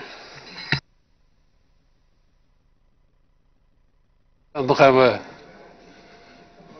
Dan gaan we daar eh, over. Dan geef ik het woord aan de heer Jonge. Ja, voorzitter, ik heb uh, een aantal vragen over uh, wat de wethouder gezegd heeft. En de eerste vraag is van waarom komt nu bij het sluiten van de markt het college met het besluit om het terug te trekken? Eén onderdeel heeft de wethouder aangegeven en ik zou graag weten van welke denkrichting het college heeft in de richting van een nieuw besluit aan, aan, de raad voor te leggen. En ik vraag het niet voor niks voorzitter, want ja, het is not done om uit het presidium te praten, maar ik doe dat toch. Want in september 2015 is er in het presidium over uh, dit onderwerp gesproken. En ik wil daarmee zeggen, voorzitter, ik zal er niet verder op ingaan of wat daar afgezegd is, maar ik wil daarmee zeggen, voorzitter, dat er ruimte genoeg is geweest om een goed plan neer te leggen en met een goed gesprek met de bewoners aan te gaan, ook over het bedraagvlak. Dus ik zou graag van de wethouder willen weten uh, uh, hoe er met het draagvlak omgegaan wordt als hij met een nieuw plan komt. Het tweede, waarom, of welke onderdelen hij het plan teruggetrokken heeft en waarom nu en niet eerder, want deze gevoelens hadden we met z'n allen zien aankomen. Voorzitter, en dan de laatste vraag, want ik ben toch wel heel nieuwsgierig van hoe het zit met de reacties op de brieven. Ik kan me voorstellen dat je de brief van 20 maart jongsleden niet uh, snel kunt beantwoorden, maar de brief van daarvoor, van december, was die volgens mij, die uh, had wel beantwoord kunnen worden. En voorzitter, daar komt in mijn nog bij van, als je een brief schrijft, en ik vind het uh, wat mij betreft, ik had eerst wat bezwaren tegen dat die brief van de ambtelijke organisatie gelijk doorgestuurd werd naar de aanvragen. Maar bij nader inzien had ik zoiets van, goh, je moet ook wel dingen met elkaar delen en transparant met elkaar zijn. Dus uh, waarom heeft, uh, is er vanuit de ambtelijke organisatie, onder regie van het college, ook die brief van 20 maart niet beantwoord? Ik weet niet of die laatste vraag beantwoord moet worden, want dat gaat niet om het terughalen van het voorstel. En uh, ik denk dat daar dan op een later tijdstip maar op terug. Voorzitter, dat deel ik niet met u. Want zeg maar de emoties en ook de uh, reacties die de insprekers gegeven hebben, die stonden in die brieven. He, dus als je daarop gereageerd had en het college had die brieven, want die waren aan het college gericht, goed gelezen, had je van tevoren ook een beetje in de nieren kunnen proeven van wat hier vandaag had kunnen gebeuren. De beantwoording laat ik over aan de wethouder. De heer Remmers. Ja, dank u wel voorzitter. Um... Ik zal de dubbele vragen er even uithalen, maar de, de sentimenten delen we wel wat uh, de heer De Jonge gezegd heeft. Uh, en, en daaraan toegevoegd, uh, triggert het ons heel erg. We zijn natuurlijk heel erg bezig om, om, om de Rotbrink uh, succesvol te maken. En daar, daar doen we alles voor, daar huren we bureaus voor in, daar doen we onderzoeken voor, daar beleggen we avonden voor. En, en, dan is, en het is eerder aangegeven, dit een heel erg tegengestelde beweging. En dat neem ik de initiatiefnemers zeker niet kwalijk. Ik bedoel, die proberen te ondernemen, die proberen een huis te renoveren. Waar, denk ik, alles gehoord hebben vanavond, iedereen het, het hartstikke mee eens is. Um, maar ook daarin, ook in de principe-uitspraak van het college, zat het risico dat de raad nee zou zeggen. Uh, daarin zat dus het risico dat het financiële verhaal, wat dan nu de reden is om het terug te halen, dat risico wisten de initiatiefnemers ook. Dus op het moment dat de raad zegt van luister eens, wij kunnen hier uh, wel akkoord gaan met de renovatie van de woning, maar uh, niet met de bestemmingsplanwijziging, dus die detailhandel kan daar niet plaatsvinden. Dan, dan staat het plan, en er is vanavond ook aangegeven van, goh, ja, daarmee ga ik niet failliet. Um, dus in die zin uh, zien wij niet ineens, de, de, toch een, het is toch een onverwachte move om dat te zeggen van we halen het terug, terwijl dit risico vanaf dag 1 er gewoon in zat. En het is een stukje erfenis, dat, dat, dat snap ik, dat is heel vervelend. Maar dan toch wel deze vraag. De heer Dunnewend. Voorzitter, dank u wel. Uh, even een, een, korte reactie van, de, van het CDA. Uh, een echtpaar jonge mensen die uh, hun nek uitsteken, die toch proberen wat moois te maken van een, een stuk terrein wat nu gewoon een bouwval is. En uh, als CDA vinden we dat toch wel dat het wat, wat steun ook verdient in die zin. Uh, we vinden het wel heel goed zeg maar, dat, dat het college het plan zeg maar, onder de voorwaarden wat de wethouder net gezegd heeft, uh, de pijler die weg is, om het dan te heroverwegen, want beter ten halve gekeerd als ten hele gedwaald in deze. Maar we hopen wel uh, als CDA dat we uh, het plan wat er ligt, dat we dat hartstikke mooi vinden en dat we daar vooral mee doorgaan. Alleen de bestemming van de autohandel moeten we echt kritisch naar kijken. Dank u wel. De heer Moerman. Ja, voorzitter, uh, dank u wel. Ik dacht dat dit nog bedoeld was als een vragenronde. Dit blijkt dus als een soort reactieronde uh, ook te kunnen gaan. Dan, dan wil ik ook graag een reactie geven. Um, we hebben een aantal voor- en tegenstanders gehoord. Um, Ze hebben vragen gesteld over het verplaatsende autobedrijf. Daar hadden wij, hadden wij en hebben wij onze grote vraagtekens bij. En derhalve zijn wij ook uh, blij dat het plan wordt teruggewezen en wordt heroverwogen. Mevrouw Schunselaar. Ja, dank u voorzitter. Kijk, dat het plan wordt teruggenomen, nu wordt teruggenomen en straks komt dat de wethouder komt met een aangepast plan, een ander plan, dat is prima, dat is goed. Uh, de vragen die ik, die mijn fractie heeft, had, die zijn zo inhoudelijk dat ik dit nu niet belangrijk vind om het nu naar voren te brengen. Dus ik ben wel heel benieuwd naar het nieuwe voorstel. En hiermee heb ik nog geen mening gegeven wat wij vonden van het huidige voorstel. Dank u wel. De heer Wind. Voorzitter, dank u wel. Ja, laat ik beginnen met te zeggen dat wij als ChristenUnie ook eigenlijk best wel blij waren met die plannen, omdat er een, een rotte kies uh, zou vervangen worden door een mooie kroon, uh, wat ons betreft. Uh, ja, en, en, ja, eigenlijk kunnen we ons van harte aansluiten bij het pleidooi wat het CDA net gehouden heeft. Voorzitter, dank u wel. Heer De Vries Robles. Voorzitter, dank u wel. Het zal ook duidelijk zijn gezien de vragen die de fractie van D66 nog opgesteld had, uh, die inhoudelijk ingingen op het plan, dat ook wij gelukkig zijn als in ieder geval de bestemming van auto, kleinschalige autohandelen uh, heroverwogen wordt. En het zal duidelijk zijn dat als daar een bestemming komt waarbij een goede invulling gegeven wordt aan het pand en de omgeving, dat daar dan in samenspraak met de buurt, denk ik in ieder geval ook gekeken wordt naar hun kenmerkende bezwaren, dat daar dan uh, een goede oplossing gevonden kan worden.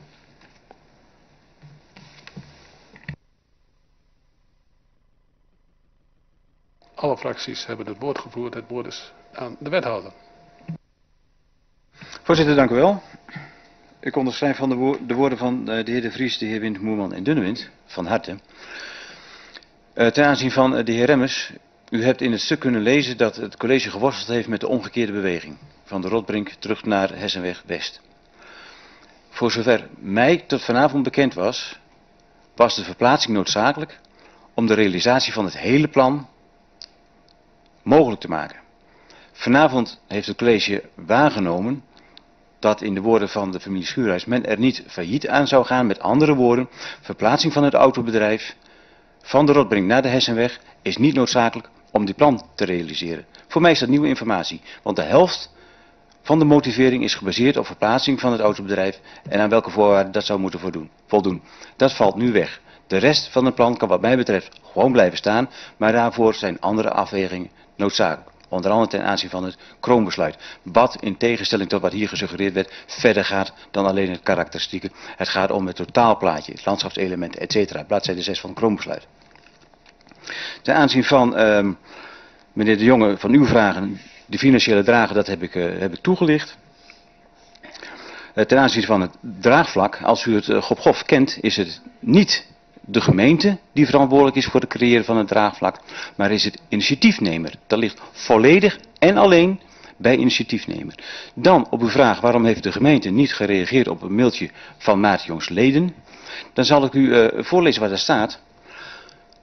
Dat is de, de mail van de heer Vincent Weller. Geachte leden van de raad. Dan voel ik mij niet geroepen om daarop te reageren. Want die brief en die mail in, in twee instanties zijn aan u gericht. Voorzitter, tot zover. Iemand nog voor de tweede ronde? Niemand, dan sluiten we nu de discussie. Er waren zo net een aantal mensen. Van Voorzitter, ik had toch nog, toch nog twee, twee vragen. En de ene, want gaat, de brief heb ik net gelezen, dan moet ik zeggen dat ik dat over het hoofd gezien heb, staat inderdaad aan, leden van de, van de raad. Dus het is aan ons om daarop te reageren. Maar de tweede, er was nog een brief verzonden, die was volgens mij eerder, als ik het goed beluisterd heb. Ik, ik heb een stuk al opgeruimd. Maar oktober hoor ik net. En... Uh, ja, de, toch nog even op het over dat financiële gedeelte, voorzitter. Kan de wethouder aangeven dat wij, want het is voor mij voor het eerst dat ik meemaak dat er in een besluit staat dat wij op stoel gaan zitten van de ondernemer en over financieringen in een bestemmingsplan gaan praten. Van, uh, maken we hier een gewoonte van? Uh, is er meerwaarde? Moet ik als gemeenteraad gaan besluiten, als gemeenteraadslid, over op welke wijze een ondernemer die een bestemmingsplanwijziging aanvraagt zijn financiering uh, rondkrijgt? Voorzitter, eh, nogmaals, ik heb het net richting de heer Remmers al uh, proberen uit te leggen. Wij hebben daarmee geworsteld, want ook wij zagen die omgekeerde beweging. En we hebben de afweging gemaakt, als we een rotte kies, zoals deze, kunnen omturnen tot een heel mooi plan aan een van onze invalswegen.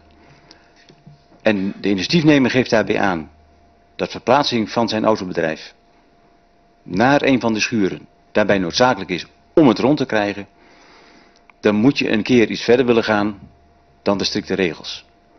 Maar als ik dan nu vanavond hoor dat dat geen halszaak meer is, dan verandert dat voor mij de afwegingsgronden. Dan gaat het puur om uh, ruimtelijke ontwikkeling. En dan op uw andere vraag, want ik bewaar mijn mailtjes wel, en dat is die van 22 oktober. Ook daar staat boven, geachte leden van de Raad. Ja. Ik ben uh, heel soepel vanavond, uh, dit jongens, dus uh, ga gang.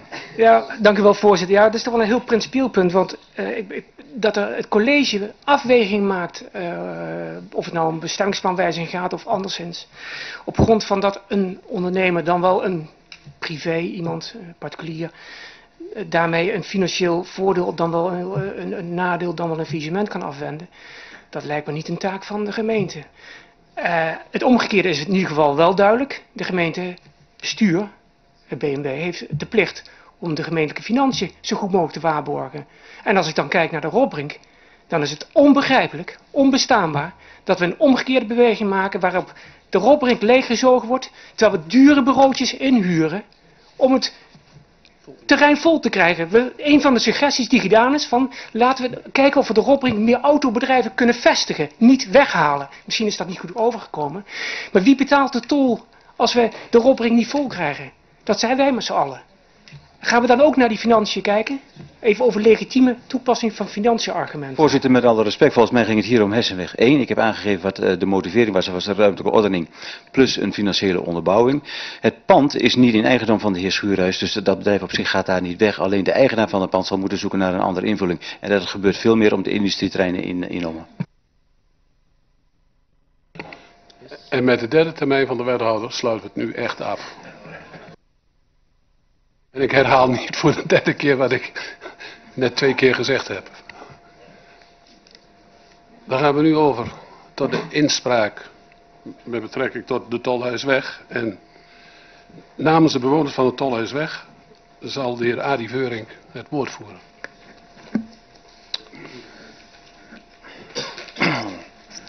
Geachte voorzitter, leden van de raadscommissie.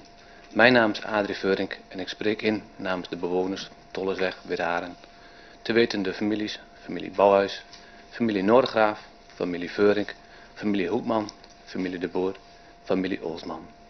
Allereerst wil ik u bedanken dat u mij de ruimte biedt om namens de bewoners van de Tollesweg in te spreken. Voorzitter, wij zijn blij met de plannen voor woningbouw in Widharen. Om Widharen leefbaar te houden is het naar onze mening van belang dat er ruimte en een locatie komt voor woningbouw. Echter, het voorliggende plan, het proces, hoe een een en ander gelopen is en de plek voor de bouw van deze woningen heeft bij ons geen draagvlak. Bij de behandeling van dit voorstel in 2015 heeft de Raad aangegeven dat de gekozen locatie niet de schoonheidsprijs verdient. De Raad heeft het college opdracht gegeven om een alternatieve plek te zoeken. Het voorstel wat er nu ligt is op een paar kleine onderdelen aangepast met verder een kopie van eerdere plannen waar wij en de gemeenteraad niet mee konden leven. Dat betreurt ons, wij hebben immers een mooi alternatief aangedragen.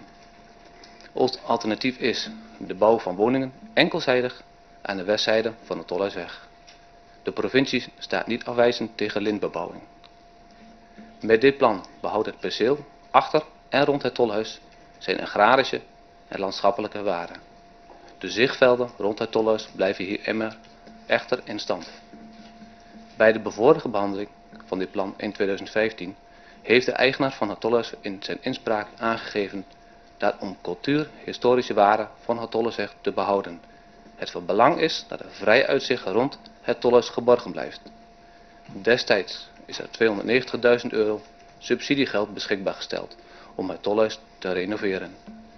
Inmiddels hebben wij begrepen dat ook de grondeigenaar tijdens een rondgang bij de verschillende gemeenteraadsfracties heeft aangegeven geen problemen te hebben met de alternatieve locatie en onze voorstellen als het gemeentebestuur hier voorvarend aan wil meewerken. Een mogelijk bezwaar van het college omtrent de beperkingen met betrekking tot de milieucirkel is naar onze mening onterecht. Immers, bij de bevorige behandeling heeft het college deze mogelijke beperking al van tafel geveegd, waarbij het thans voorliggende voorstel ook binnen de milieucirkel valt. Wij verzoeken de commissie om de voorliggende plannen terug aan te passen en het college de opdracht te geven om op zeer korte termijn met een plan voor woningbouw te komen dat voldoet aan onze wensen. Dit is enkelzijdig te bouwen aan de westzijde van de Tollesweg. Wij zijn bereid tot de Raad van State te gaan. Een tekening hebben wij bij deze inspraakreactie toegevoegd. Dus deze stukken zullen wij via de grifie aan u beschikbaar stellen. Dat was hem. Zijn er vragen voor de heer Veuring? De heer Bos. Heer Veurink, uh, u heeft uh, gesproken over een alternatief. En daar is ook naar voren gekomen de milieucirkel. Uh, nou, kent, neem ik aan, de reactie van D66. wij denken namelijk dat die hele, hele strook, die hele strook volledig onder die milieucirkel zou vallen. Hoe kijkt u daar dan tegenaan? Waarom zou dat dan opeens niet kunnen? En de andere vraag is, in 2003 uh, was al een planbeschrijving waarin al was aangegeven dat aan de noordzijde van de Tolhuisweg bewoning zou plaatsvinden. En volgens mij wordt dat dan nu gerealiseerd met het plan zoals het is ingediend door het college. Hoe kijkt u daar tegenaan? nou, er zijn dus meerdere vragen. En op de laatste vraag van woning zou bouwen tegenover de noordzijde waar wij nu wonen, is bij ons totaal niet bekend. Maar we hebben toen nog navraag gedaan of er een woning zou komen er was ons gezegd, er zouden geen woningen nu en in de toekomst zouden er niet komen. Dat is bij ons bekend in ieder geval. Maar goed, dat hebben we mondeling en maar niet op papier. Dus daar heeft u hem niks aan. De, de milieucirkel? Uh, de milieucirkel. Een uh, aantal huizen van de Tollesweg die zitten al in de milieucirkel. Dus er zou uh, eigenlijk op geen enkele plek in de noordzijde gebouwd mogen worden. Maar dat valt helemaal in de milieucirkel. Dat is een hele grote straal. Als ik het wel heb, geldt die milieucirkel, die 250 meter, ook voor woningen die na een bepaalde datum worden gebouwd en niet ervoor. Dus bestaande woningen worden daar volgens mij uitgezonderd. Maar... Nou ja, goed, zou het, bij, de, bij, deze nieuwe bebouwing wel, dan zal geen enkele huis hier gebouwd mogen worden. Maar dat valt allemaal in de nieuwe milieucirkel. Heer de Jonge. Voorzitter, ik, uh, in deze, want uh, u verplaatst zeg maar, het voorstel wat nu voor ligt. Um, heeft u enig idee van hoe, de, hoe het draagvlak is? Want ook hier geldt van, uh, vanuit het GOP van dat er draagvlak gecreëerd moet worden. Van, is er draagvlak bij u in, in Witharen om die lintbebouwing, als ik, het, als ik u goed beluister, aan de westzijde van, uh, van de Tolhuisweg uh, te plaatsen, is er draagvlak voor. En ik heb een aantal mensen gesproken, die zijn ook bij ons in fractieoverleg geweest, bij meerdere, bij meerdere die uh, snel willen bouwen. Van, heeft u enig idee hoe die daar tegenaan kijken? Zou ik de vragen willen herhalen? Ik vroeg, de eerste vraag ging over draagvlak. Of u enig idee heeft van hoe het zit met het draagvlak in, in Witharen. Hè? Kleine kern, iedereen uh, die kent elkaar daar goed, dus ik neem aan dat u aan geven hoe het draagvlak er is. En het tweede is van uh, hoe de, de gegadigden die al een optie genomen hebben op een kavel achter het tolhuisweg, als ik het goed begrepen heb, hoe die er tegenaan kijken van uh, als er aan de westzijde gebouwd gaat worden. Dus uw plannen gerealiseerd gaan worden. Uh, nou, het draagvlak voor, voor Witharen is dat uh, heel eigenlijk, de meeste mensen zijn voorstander voor bebouwing uh, voor Witharen. Vooral als kleine kern, we vergrijzen behoorlijk. Dus we zijn best wel voorstander voor nieuwe bewoning, maar dan wel op zo'n manier dat iedereen daar tevreden mee is. En dat is voor enkelzijdige bebouwing. Aan de, aan de, westzijde van de Tollersweg. Zodat iedereen daarmee tevreden kan zijn.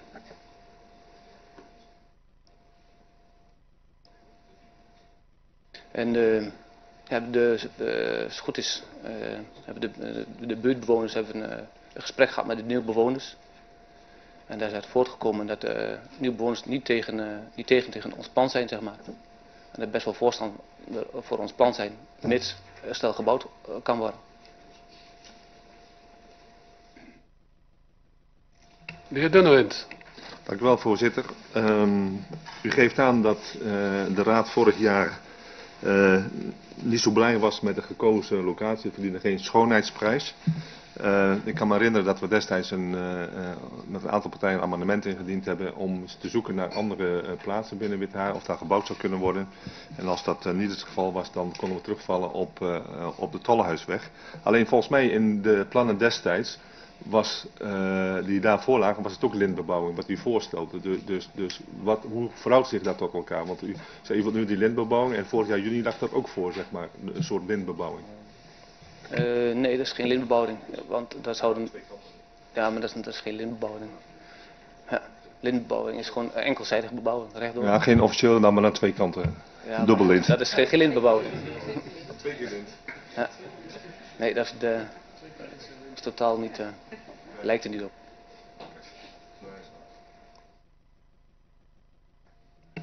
Mevrouw Schunselaar. Dank u, voorzitter.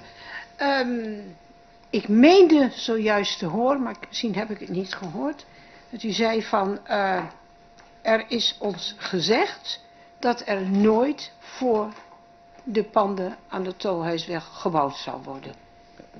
He, heb ik dat goed gehoord? Ja, heeft u goed gehoord.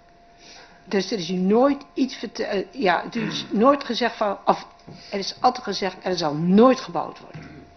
Er zal verder niet uitgebreid worden. Onze kleine kern zal verder niet uitgebreid worden, nee. Nee, voor de huizen.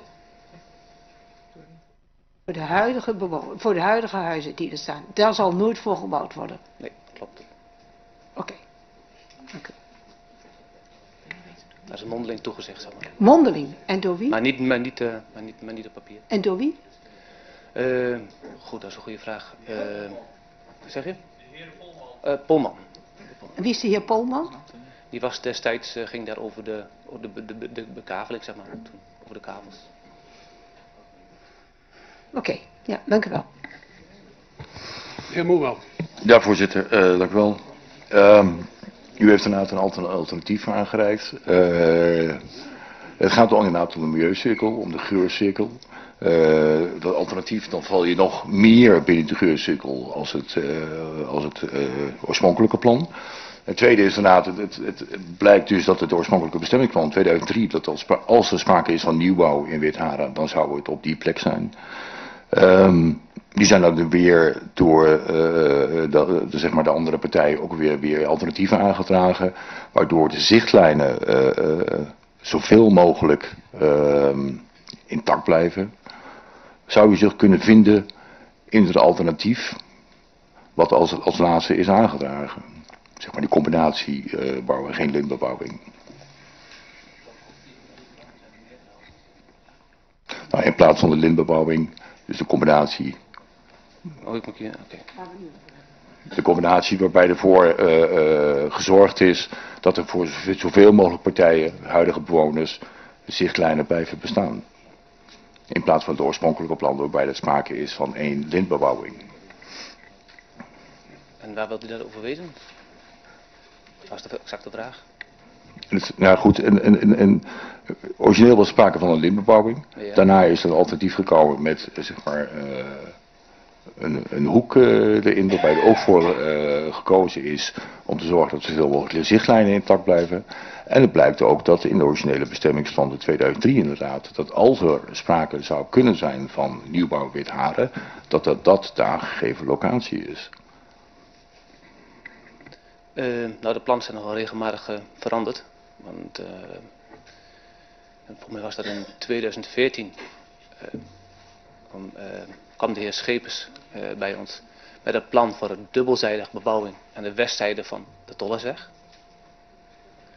Een jaar later, in 2015, waren wij toen niet geïnformeerd. Dat hoorden wij via de, de buurman. Dat het plan veranderd was. Dat er tegen ons over ons gebouwd zouden worden. En dus wij, wij zijn heel slecht uh, geïnformeerd uh, daarover. Over de bebouwing.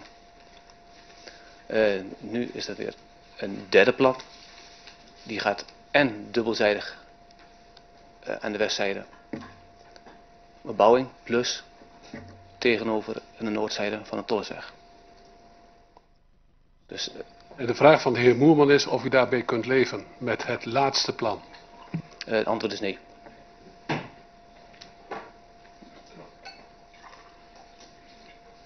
De heer Remmers. Dank u wel, voorzitter. Ehm, meneer Vurink, eh, ja, we hebben elkaar uiteraard eerder gesproken en we hebben hier als LPO ook eerder aangegeven dat we ons met name zorg maken over de ontwikkelingen binnen Witharen. En met name de tegenstrijdigheden die ontstaan tussen verschillende belanghebbenden, waarvan we altijd nog hoopten dat dat aan dezelfde kant zou kunnen komen. Ehm, dus ik was even benieuwd naar, eh, want dan hebben we ook beide partijen geadviseerd van ga aan tafel. We hebben de wethouder ook gevraagd van goh, misschien kunt u daar een rol in spelen. Ehm, dus we waren even benieuwd naar het proces zoals dat gelopen is tussen de partijen. En eh, ik ga ervan uit dat er misschien straks nog wel meer insprekers komen die eh, van de andere kant wat laten horen. Maar ik was even benieuwd naar, naar uw visie op voor hoe het proces verlopen is. eh, hoe het overleg gegaan is en eh, waarom eh, er wel of niet tot overeenstemming heeft, is kunnen komen.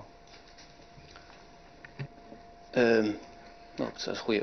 vanaf dag 1 zeg maar, zijn we gewoon slecht geïnformeerd van wat de, wat de plannen eh, waren. Zeg maar. maar hoe het exact gelopen is, ga ik hem via mijn achterban even vragen, want die weet er iets meer van dan ik, denk ik. Momentje.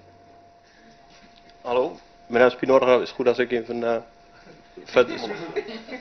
Nou, ik ben vanavond heel soepel, heb ik al aangegeven. Dus, Gelukkig. Dus eh, het is goed, meneer Ja. Noordegraaf. Oké, nou de informatie de, dat was gewoon ja, heel slecht. Eh, ja, wij hebben als bewoners vaak aangegeven waarom zijn we niet bij de eerste gesprekken geweest eh, met woningbouw. Ik ben zelf persoonlijk, eh, 2015 ben ik pas geïnformeerd. En eh, ik ben, eh je hem zien? Was nu? Ja. Maar goed, wij hebben vaak aangegeven waarom mogen we niet met de nieuwe bewoners om tafel. En dat is eigenlijk, eh, dat mocht nooit, dat kon nooit. Nu hebben we het zelf gevraagd om met de nieuwe bewoners om tafel te gaan. Die zijn bij ons geweest, we hebben ons vooral uitgelegd van onze kant. We hebben door de straat gelopen dat wij ons, waarom het ons omgaat. En ook uitgelegd wat wij liever hebben, gewoon enkelzijdige bebouwing. En dat, eh, ja, tot zover is het gekomen nu. Dan mag u gaan zitten. Oké. En dan is de beurt aan de heer Spijkers. Meneer u mag ook gaan zitten. hoor. Dank u voorzitter. Uh, geachte leden van de raadscommissie. Uh, we hebben een gemeente om namens de uh, potentiële belanghebbenden ook onze mening uh, visie hier uit te spreken. En daar hebben we een stukje op papier gezet. Dat wil ik graag aan u voorlezen. Ik vertegenwoordig dus de hele groep van belanghebbenden. Uh, en wij als groep zijn als, als jongeren uit, uit Wedaren in 2014 aan de slag gegaan met onderzoek van hey, kunnen we nou eens blijven en betaalbaar blijven wonen in uh, de kern Witharen, in, in het dorp waar wij geboren zijn. Nou, in die tijd is er contact ontstaan met uh, het plaatselijk belang en uh, heeft het tot geleid dat we een enquête hebben gehouden. Althans, het plaatselijk belang heeft een enquête gehouden. om te kijken hoeveel animo was er nou in de kern. Nou, daar werd veelvuldig ja geantwoord in verschillende leeftijdscategorieën op verschillende termijnen. Maar voor het plaatselijk belang was dat uh, voldoende aanleiding om, uh, om vervolgstappen en uh, dit op de agenda te zetten van het plaatselijk belang. Nou, wij zijn inmiddels twee jaar verder, ehm, veel gesprekken gevoerd met gemeente, plaatselijk belang en overleg geweest ehm, om te kijken of wij woningbouw in van de grond konden krijgen. Inmiddels zijn er volgens mij al, al zes varianten de revue gepasseerd. Um, en hoewel wij altijd positief hebben meegedacht, uh, ging het ons natuurlijk vaak te langzaam. Uh, inmiddels, ik zelf ben 26, dus ik ben begonnen toen ik 24 was. en toen hebben we aangegeven, nou binnen nu en een jaar zou heel mooi zijn. En werd ons ook nog toegezegd. Um, we zijn wel blij dat er na al die plannen die de revue gepasseerd zijn, dan nu een, een compromisplan ligt. Um, nou, en, en het, het, lijkt dat het nu eindelijk dan toch concreet wordt en uh, woningbouw voor ons gerealiseerd wordt. Uh, natuurlijk hebben wij ook de stuk in de krant gelezen en gemerkt dat er naast vele voor's uh, ook, ook tegen zijn, logisch. Um, maar dat heeft ons doen besluiten om in te gaan op de uitnodiging om met hun ook eens om tafel te gaan, om ook die kant van het verhaal aan te horen. Nou, hebben we op zaterdagmiddag gedaan, een gezonde discussie gevoerd, door de straat heen gelopen en wij beseffen zeker dat zij iets zullen moeten laten in, in de zin van uitzicht. Ehm, maar goed, wij zijn uh, jongeren, wij kijken 10, 20 jaar vooruit. Ehm, en, en nou ja, we staan stil bij de toekomst van Wedaren. En volgens mij moet je dan ehm, nou, niet, niet blijven hangen in hoe het nu is. Dus wij hopen dat het, het bestemmingsplan, of, of, het voorstel wat er nu ligt, dat dat uh, nou ja, vooral snel door, door de raad heen komt. En dat wij uh, verder kunnen en kunnen bouwen aan de toekomst uh, van Wedaren ook in 2020, 30, 40. Dat was hem. Vragen voor de heer Spijkers. De heer De Jonge. Ja, voorzitter. Uh, de heer Spijkers geeft aan dat hij, uh, en, en uh, met hem wij ook, dat wij het van belang vinden dat er snel gebouwd wordt in Wedaren. en u geeft ook aan dat, dat u een keuze heeft gemaakt. Uh, is, is het voor u mogelijk, of, of uh, wat vindt u ervan als uh, de Raad op korte termijn kan realiseren dat de lintbebouwing, de wens van de andere bewoners gerealiseerd kan, kan worden, zodat u ook heel snel kunt bouwen? Hoe staat u daar dan tegenover? voor mij persoonlijk, en, en, dan denk ik dat ik namens de groep praat, telt voor ons één ding en dat is met name snelheid. Ehm, maar inmiddels, na twee jaar gesprekken zijn wij al wel zover dat wij niet meer de overtuiging hebben dat uh, het, het, het, plan waar we feitelijk twee jaar terug begonnen zijn, opnieuw op tafel gelegd wordt en dat het nu wel uh, met succes erin zal komen. Voorzitter, als dan even mag via u, want ik heb de inspreker horen zeggen, de heer Veuring was dat volgens mij, van wij gaan tot de Raad van State, dat kan heel veel vertraging opleveren. Als er toch toch een keer diezelfde vraag. Van hoe kijkt u aan tegen de plek die uh, de bewoners aangeven, dus aan de westzijde staat volgens mij, die lintbebouwing. Als dat snel gerealiseerd kan worden, als een stuk bijvoorbeeld teruggaat en binnen 14 dagen weer terugkomt hier in de Raad, dat een vertraging is van 14 dagen en daarmee kun je een bezwaar bij de Raad van State voorkomen. bent u dan ook bereid om daar een kavel te kopen? Ik persoonlijk wel. Ik kan niet spreken namens de overige bewoners natuurlijk. De heer Mors. Ja, daar even verder op ingaand. Als het die lintbebouwing zou worden, dan komt u natuurlijk heel erg in die stangcirkel. Is u dat bewust? Sorry. en, da en, daar, zal dus ook, uh, daar zullen dus ook procedures over gaan volgen, denk ik. Maar dat is even, even de vraag, bent u zich dat bewust? Uh, andere vraag die ik eigenlijk nog, ook nog had. Uh, we merken toch wel dat er toch relatief moeizaam gecommuniceerd wordt. Bent u niet bang dat er straks een uh, afscheiding gaat ontstaan, dat we straks een uh, Witharen Noord krijgen ten opzichte van Witharen Centrum met een eigen bewonersvereniging, et cetera, et cetera. Want uh, ja, wij zijn ervoor dat er kleinschalig in de kleine kernen ook geleefd wordt, dat het ook leefbaar is. En dat daar zijn we ook wel een heel groot voorstander van. Nou, ik denk dat het dan goed is dat we die zaterdagmiddag bij elkaar hebben gezeten. En, en uh, daar is ook meerdere malen uh, verwoord dat dit uh, geen, absoluut geen persoonlijke kwesties zijn. het gaat om de gebouwen. En ik denk dat we met z'n allen professioneel genoeg zijn om welk plan zich ook doorgang gaat vinden. Dat we elkaar altijd gewoon als buren kunnen blijven zien. Dat hebben we meerdere malen uitgesproken op diezelfde zaterdagmiddag. De heer Remmers.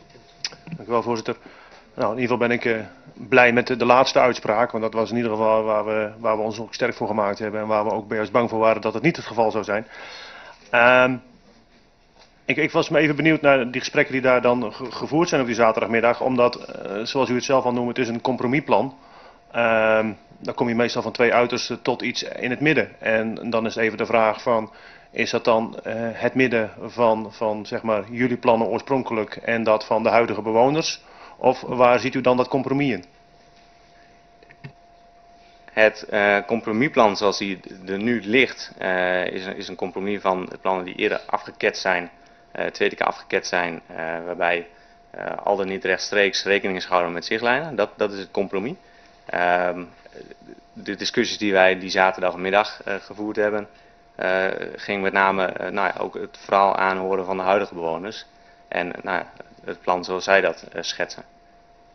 Dus daar uh, verder niet uh, gewerkt naar een compromisplan. Want feitelijk was er één oplossing en dat is lintbebouwing. Al dus huidige bewoners. De heer Wind. Dank u voorzitter. Uh, ja, ook wij als ChristenUnie zijn wel blij met uh, in ieder geval de opmerking dat, ja, dat er, als er maar zo snel mogelijk gebouwd gaat worden, dat het dan in principe niet zo, dat het jullie niet zoveel uitmaakt. Maar we zijn toch nog wel een beetje benieuwd van over hoeveel gegadigden spreken we nu nog eigenlijk? Op dit moment uh, zijn er geloof ik 7, 8 intentieverklaringen. Om erbij, dat hou ik niet bij. Uh, zijn uh, weliswaar momenteel met een groepje van uh, 4, 5 actief betrokken bij dit proces. Vandaar dat ik hier nu ook sta. Ehm, maar als je even twee jaar teruggaat naar de eerste animo-gesprekken in, in Centrum Monsier of Café uh, ja, dan zat de zaal gewoon voor. En alle belanghebbenden die nu een intentieverklaring getekend hebben, die, zitten, die hebben destijds aangegeven, bouwen nu en twee jaar. Um, en daarna lag nog een pakket op, op stapel van twee tot vier jaar. Dus ook na ons zijn er weer nieuwe generaties die uh, interesse hebben in Wedaan. Dus, dus, als er nu tien gebouwd worden, volgens mij moet je meteen door en moet je er nog twintig achteraan zetten. Want die worden ingevuld. Ja.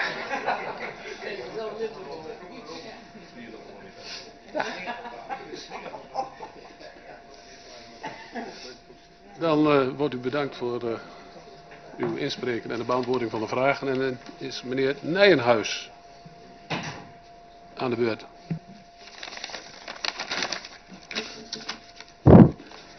Dank u voorzitter. Goedenavond college, leden van de raad. Mijn naam is Gerrit Nijenhuis, grondeigenaar. En vanaf uh, deze plaats wil ik gebruik maken van de mogelijkheid tot inspreken voor de woningbouw Witharen. Ik wil met name zeggen dat ik geen initiatiefnemer ben, maar kaarttrekker in, de, in het loop van het proces geworden. Tijdens het ontwikkelingsproces van het woningbouwplan in Witharen, waar ik begin vorig jaar betrokken ben bij geraakt, is me eind vorig jaar door de gemeente om een gevraagde kaart te trekken, samen met de ambtelijke organisatie. In een gezamenlijk overleg zijn afspraken gemaakt over deze ontwikkeling. Samen met plaatselijk belang, potentiële kopers, ambtelijke organisaties zijn er diverse overleggen gevoerd om een plan op te stellen dat paste bij de wensen van de kopers, jongeren uit Witharen. Hierbij was de haalbaarheid voor de gegadigden een belangrijk item. Daarnaast is er zoveel mogelijk rekening gehouden met de belangen van de huidige bewoners. Vanaf 2012-2013 is mij al regelmatig gevraagd door bepaalde bewoners van jongens, als je wilt bouwen, denk aan mij, ik wil ook mee in het plan. Heb ik tot op heden nog steeds aan gedacht. Er zijn in deze fase diverse plannen de revue gepasseerd. De uitgangspunten bij het opstellen van de plannen waren ook de uitkomst van de commissievergadering van mei 2015, het bestemmingsplan 2003-2013, wat verkracht was toen de huidige kabels aan de Tolhuisweg van de bestaande bewoners uitgegeven zijn. Dus deze hadden zij dus zeer nadrukkelijk in kunnen zien. Het realiseren van de afrondende fase van de kernwilaren. Tijdens dit proces zijn er ook twee overleggingen geweest met de bewoners van het Tolhuisweg. De gemeente heeft in, dat, in die fase gekozen om eerst een plan te maken en dan naar de bewoners toe. Je kunt het ook andersom doen, maar er is een keuze gemaakt. Waarbij en tijdens dit eerste overleg zijn diverse reacties gekomen en ook een alternatief plan. Via plaatselijk belang is een reactie gevraagd van de gemeente Ommen. Uit de uitkomst van het uh, tweede overleg was een herhaling van zetten en kwam weinig nieuws uit. We hebben nadrukkelijk de nieuwe plan voor het nieuwe plan afgewacht wat de reactie van de gemeente zou zijn op dit alternatieve plan van de bewoners. De gevraagde reactie van de gemeente Ommen op het alternatieve plan is begin dit jaar door het college gegeven.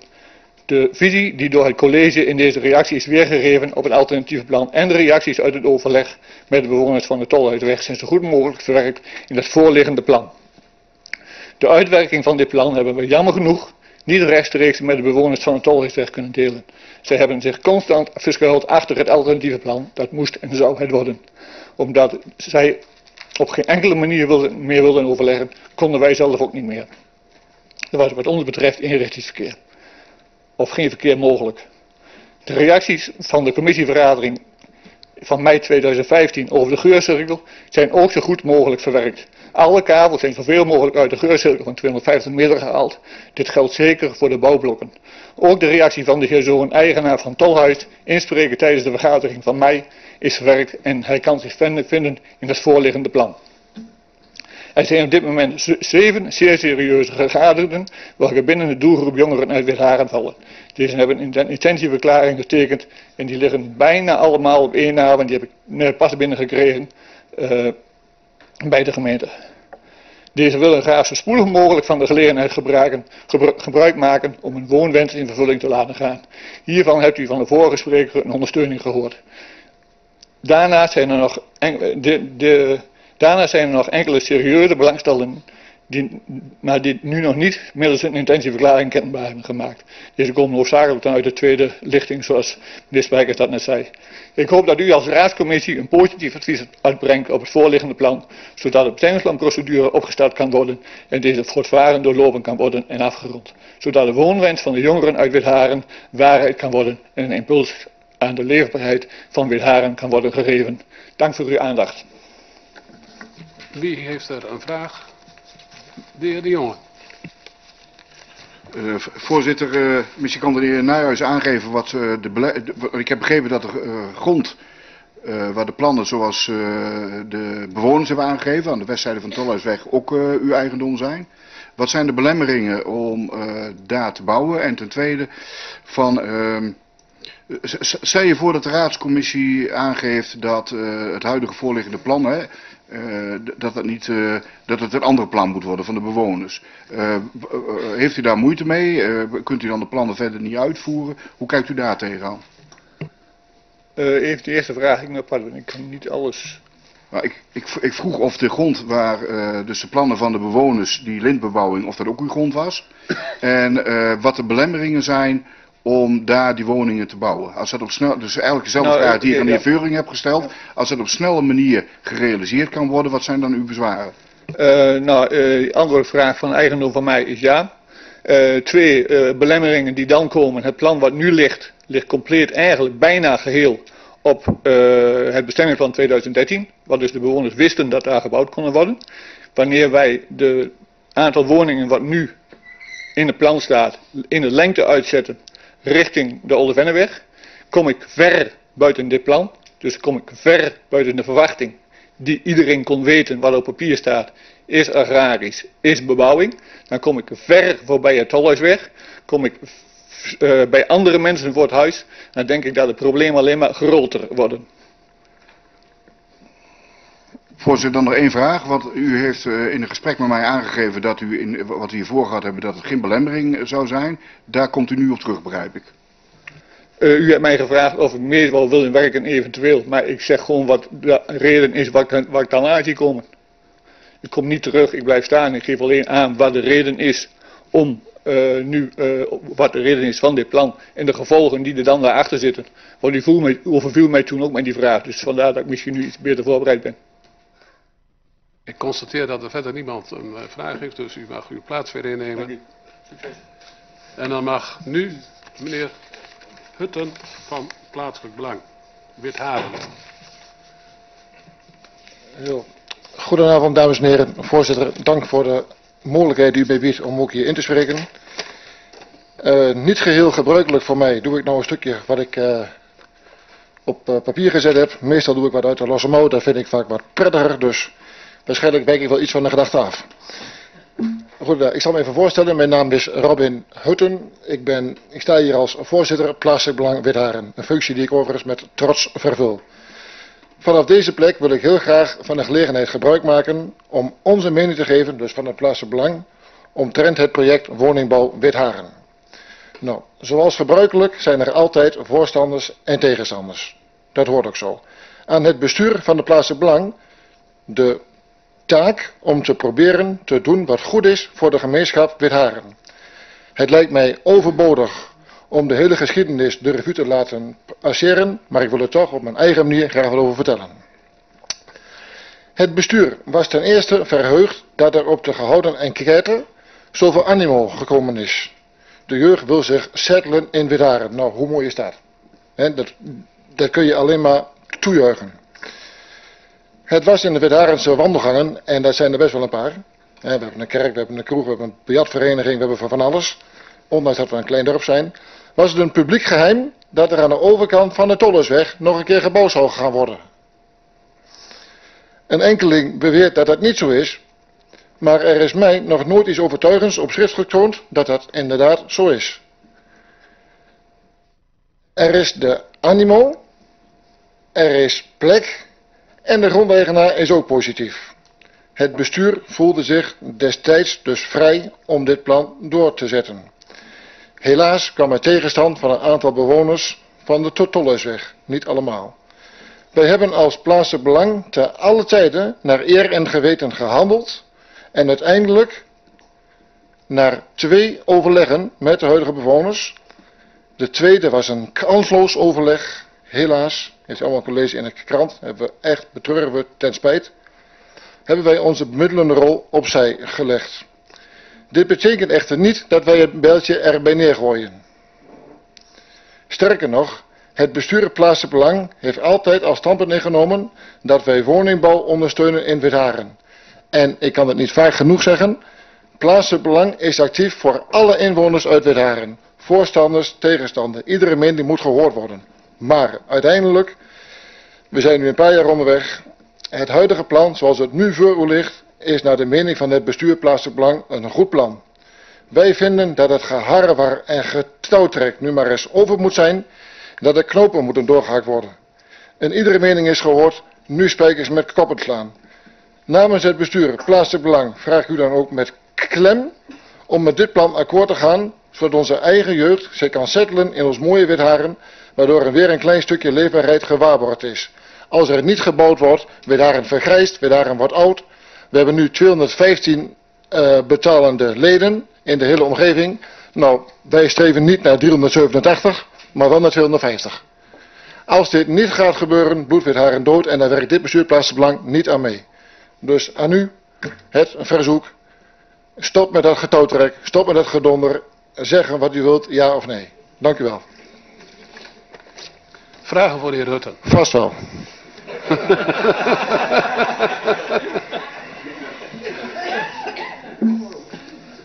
Mevrouw Skunselaar. Um, ik heb echt een serieuze vraag. Graag. Ik krijg een serieus antwoord.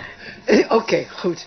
ik hoop dat het kan. Vanaf wanneer hadden de inwoners van Witharen kunnen weten, en in het bedoel, inwoners bedoel ik de mensen bij de Tolhuisweg, dat er gebouwd zou kunnen worden. Ik heb een notitie van uh, bijeenkomst 17 november 2015. Nou, dat is nog niet zo lang geleden. Nee. Daarover wordt gesproken, ik citeer maar, dat het al langer bekend is dat er gebouwd zou kunnen worden in Witharen. Maar weet u ook, ik weet niet hoe lang u voorzitter bent, ik weet niet of u echt ook uit Witharen komt, maar weet u hoe, wanneer, vanaf wanneer had men kunnen weten dat er gebouwd zou kunnen worden? Nou, daar kan ik antwoord op geven. Ik ben sinds drie jaar voorzitter Belang. Ik ben sinds 19 jaar ondernemer in Wedaren. Ik ben sinds 15 jaar inwoner in Wedaren. En vanaf het moment dat ik de eerste voetstappen zette in Wedaren, wist ik al, als er woningen komen, en een ander voorbeeld, leg het maar neer bij een vrijwillige peuterspeelzaal in de buurt met een tekening van het dorp Wedaren. Er moeten huisjes komen. Waar, waar komen ze? Zegt iedereen daar op die plek. Het was, een, het was een publiek geheim. Iedereen wist het. Maar vanaf wanneer? Ja, zolang als ik in Wedaren ben, is dit bekend. Maar niet officieel? Ik heb het nooit officieel gezien, maar ik heb dus later wel vernomen van de mensen van de gemeente, uh, met name de heer Slepers, die ons altijd begeleid heeft in het hele verhaal, dat het in diverse bestemmingsplannen de revue gepasseerd is of heeft. Ja. Maar ik kan niet uh, met stip zeggen van oh het was uh, 9 juli 1983. Nee, dat kan ik niet zeggen, nee.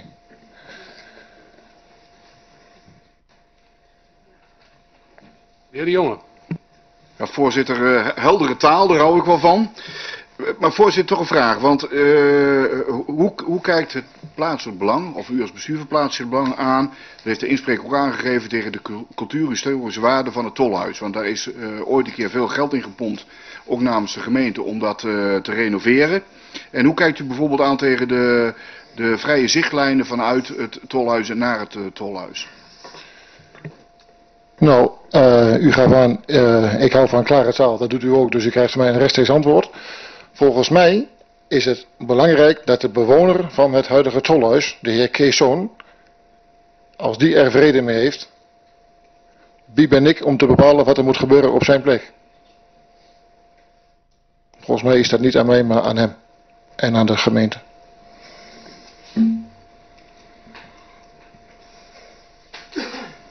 Wie wint?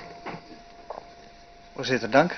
Um, Ja, de vraag die ik heb is, eh, heeft te maken met van, nou, u zegt van we willen graag ondersteunen van wat het meeste draagvlak heeft eh, eigenlijk. Ehm, eigenlijk eh, proef ik een beetje van dat de, de plannen zoals die nu eh, door, de, door de bezwaarmakers zeg maar, zijn ingediend, het laatste plan, dat dat ook wel eens op heel veel steun zou kunnen rekenen. Want de gegadigden die zeggen van ja, ons maakt het eigenlijk niet zo heel veel uit als er maar gebouwd eh, wordt.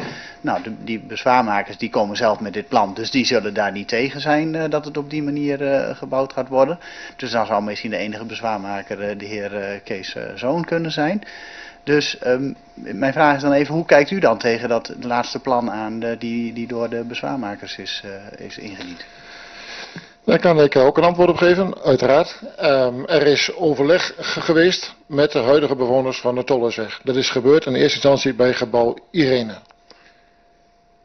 Daar is het plaatselijk belang naar huis gestuurd met huiswerk van jongens, proberen ze een andere locatie te vinden. Nou, dat gaan we doen. Hebben we gedaan. De penningmeester, de heer Winters en ondergetekende, ikzelf dus, zijn bij Kees Zoon geweest. Van, Kees joh, we zitten in een passen. We moeten eens met elkaar praten, want iedereen is gebaat bij woningbouw, maar hoe kan dat nou namelijk wel? Jij wil zijn achterhuis, die wil zijn voor zijn huis, je moet ergens een kant op. Is er een opening? Die hebben we uiteindelijk gevonden. Ten tweede kwam er dus een nieuw overleg. In dat overleg bleek al heel snel dat er voor de huidige bewoners maar één alternatief was en dat was hun idee. Naar mijn idee is overleg moet van twee kanten komen. Je probeert altijd openingen te zoeken. Als jij dit niet kunt en jij kunt dat niet, moet je zorgen dat je hieruit komt. Het kan nooit eenzijdig zijn. Vandaar dat wij als PB gezegd hebben van, wij trekken ons nu terug als bemiddelaar. Het is nu aan de gemeente, grondeigenaar en eventueel de potentiële bouwers. En als u het mij persoonlijk vraagt, dit plan zoals het hier nu ligt, ik vind het een goed plan. Wat niet wil zeggen dat ik valikant tegen het plan van de huidige bewoner ben. Want dat zijn ook leden van het plaatselijk belang. Het gaat mij erom, welk plan heeft het meest kans van slagen en wat kan het snelst gerealiseerd worden. Ik mag aannemen dat iedereen die dit plan ontwikkeld heeft, niet van gisteren is en goed weet waar het over heeft. Dus vandaar dat ik u vraag van, u heeft nu tijd genoeg gehad, zeg wat u wilt.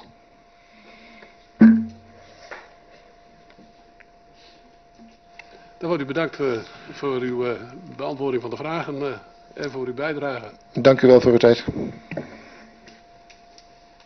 Dan gaan we nu over tot de gevraagde duidelijkheid. Wie wenst het woord te voeren?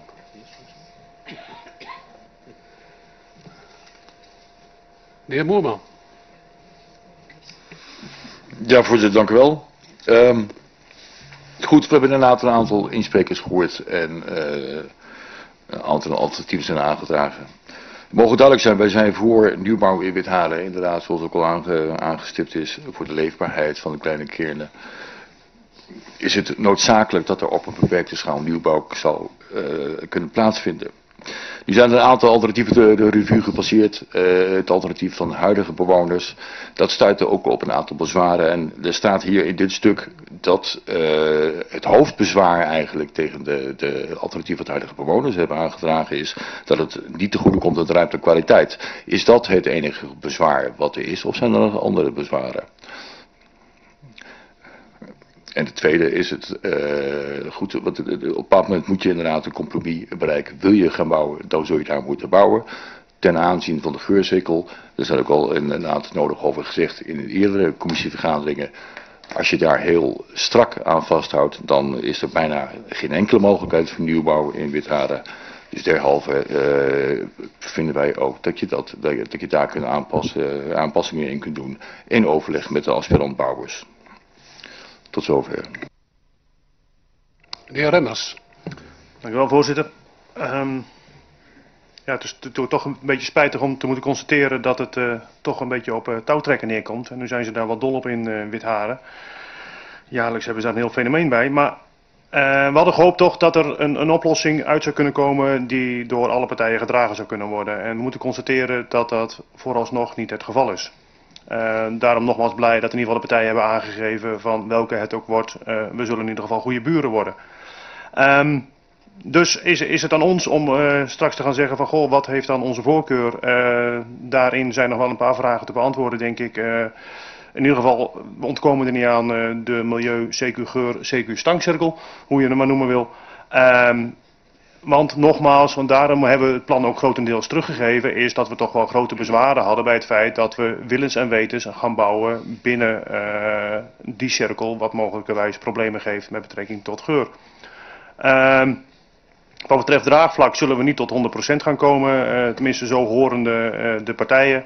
Ehm, goed, dat, dat is dan aan de politiek om daar een beslissing over te nemen, maar dat, dat zullen we doen op, de basis, op basis van de informatie die we aangereikt krijgen. Tot zover. Meneer Wind. Voorzitter, bedankt. Uh, ja, zoals ik ook al uh, aangegeven heb, ja, zijn we als ChristenUnie ook gewoon, uh, ja, willen we graag dat er zo snel mogelijk gebouwd gaat worden in Withaarden. Dus dat staat voor ons voorop. En ehm, ja, zoals het proces nu gelopen is, daar hebben we toch wel een paar vragen over. Um, wat we bijvoorbeeld uh, gezien hebben is dat uh, eigenlijk de gemeente een beetje de regie uh, uit handen gegeven heeft richting de heer Nijenhuis. En onze vraag is eigenlijk waar, waarom heeft de gemeente eigenlijk die regie zo uit, uit handen gegeven? Voor, wat we ook horen is dat er mogelijk een aantal toezeggingen zijn gedaan richting de huidige bewoners van de Tolhuisweg. Uh, en misschien kan ook de wethouder daar wat over zeggen. Van, ja, hoe, hoe, hoe zit dat nou precies? Nou, de, de toezegging die gedaan is uh, van dat er niet gebouwd zou worden aan de andere kant van de Tolhuisweg. En, uh, dus daar zouden we ook wel graag wat meer over willen weten. Voorzitter, tot zover. De heer Dunnewind. Dank u wel, voorzitter. in de raadsvergadering van 25 juni vorig jaar heeft het CDA aangegeven voor de nieuwbouw in Witharen te zijn. Dit is van belang voor de leefbaarheid in Witharen. De aangegeven locatie is in het verleden al grotendeels voorbestemd om woningen op te bouwen. Door rekening te houden met de zichtlijnen van de woningen ten opzichte van elkaar, wordt zoveel als mogelijk rekening gehouden met de belangen van de bewoners van de Tolhuisweg. Voor wat betreft de geurzone is voor het CDA de wet geurhinder en veehouderij bepalend. Deze wet staat uitzonderingen toe en daarnaast geeft de GGD advies om dit vooral met de toekomstige bewoners te bespreken en dat mogelijk toekomstige bewoners zelf aangeven dit niet als probleem te zien en of te ervaren. Voor het CDA is de geurzone geen belemmering om woningbouw toe te staan in deze. Wat al aangegeven is, het heeft al lang genoeg geduurd. Het CDA stelt dan ook voor om het voorontwerp ter inzage te leggen en daarmee de procedure te starten. Dank u wel. Het was de bedoeling dat er vragen gesteld zouden worden en geen uitgebreide betogen. Uh, de, de. Ja, voorzitter, ik heb wel een paar vragen. Uh, want voorzitter, uh, de zichtbepaling van de woning, maar voor ons is van het wezenlijk belang de vrije ruimte rond het tolhuis. En in het verre verleden is ooit heel veel geld vanuit dit, van deze raad beschikbaar gesteld om het tolhuis te renoveren en in oude staat, historische staat terug te brengen. En bij een tolhuis hoort vrije ruimte. Voorzitter, in hoeverre is, heeft het college hiermee rekening gehouden? En wat is voor het college de belemmering om uh, te werken aan uh, toch de, de lintbebouwing zoals de insprekers hebben aangegeven. En binnen welke termijn zou dat gerealiseerd kunnen worden? Zou dat snel in een ander plan kunnen liggen? En mocht dat niet lukken, voorzitter, is het dan mogelijk dat het college toch met een aangepast voorstel komt, waarin uh, de kavels, zoals ik het nu voor heb liggen, en ik hoop dat het in, in het voorgelegde besluit precies hetzelfde staat, de kavels 1 en 2 komen te vervallen. Want op deze wijze hou je namelijk wel een vrije zichtlijn van het, uh, rond het tolhuis. De heer Mors. Ja, dank u voorzitter.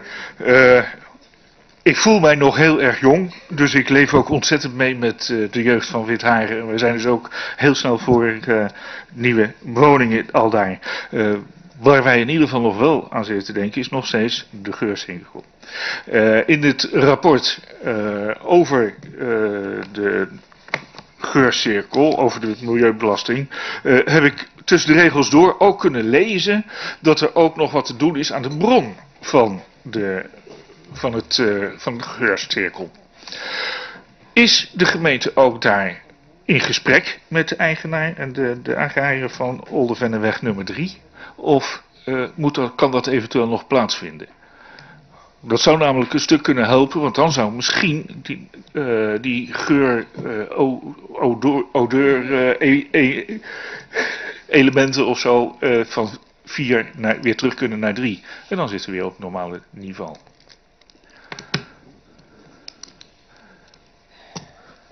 Mevrouw Schunselaar. Dank u voorzitter. Ik heb, eh, ik heb een paar vragen. Eerste, de opmerking is natuurlijk, ja, de woningbouw in Witharen, wie, wie kan daar eh, nu tegen zijn en wie kan daar niet voor zijn, lijkt me helder. Maar het zijn toch wel een paar vragen die ik wil, wil stellen. Ehm, kan de wethouder mij het gevoel geven, of heeft hij het gevoel dat alle be- betrokkenen, dus ook de bewoners van het Tolhuisweg, goed en op tijd geïnformeerd zijn over de ontwikkelingen? We hebben vanavond met de insprekers eh, wel een aantal elementen uitgehoord, maar ik wil graag een reactie van de wethouder daarover horen. Dan eh, het rapport van eh Arcadis, geurgebiedsvisie. En ik heb daar in de commissievergadering van 21 mei 2015 heb ik daar ook al over gesproken. Dat rapport zegt dat, stelt dat een opschaling van de geurnorm voor woningen in het plantgebied van drie odeur units naar vier odeur units voldoende zal zijn om de varkenshouderij niet verder te beperken in de bedrijfsvoering. Mijn vraag is, voorkomen we dan met deze aanpassing ook schadeclaims van omwonenden ten aanzien van deze geurhinder? Een andere vraag is, is het bedrijf de Oldervenneweg 3, want daar gaat het om, op de hoogte van deze wijziging? En moet er, moeten er dan ook aanpassing, investeringen binnen dit bedrijf eh? Ik denk het wel, maar zie ik dit correct? Eh, hoe wordt de geurbelasting, die is nu op 3, ervaren door de huidige bewoners in de directe omgeving van dit agrarisch bedrijf? En heeft de aanpassing van 3 naar 4 nadelige gevolgen voor de volksgezondheid? Want dan kom ik eigenlijk weer op dat rapport van de GGD, die zegt van ja, het kan best op 250 meter, maar ik laat het aan de gemeente over, want het algemeen belang is hier in deze heel erg belangrijk. Ehm en is iedereen, maar dat heb ik al gezegd, nee. Ehm, in het voorstel staat dat met de ontwikkeling de kern Witharen een meer stedenbouwkundig afgerond geheel krijgt. En is met deze ontwikkeling, en ik hoorde net de inspreker zeggen, ja, er mogen wel nog wel tien woningen gebouwd worden. Goed, twintig nog wel. Nou ja, doet er niet toe. Is met deze ontwikkelingen de verder, is met deze ontwikkeling de, verder bouw, de verdere bouwontwikkeling op termijn nog mogelijk? Of praat ik nu te ver in de toekomst? Dank u.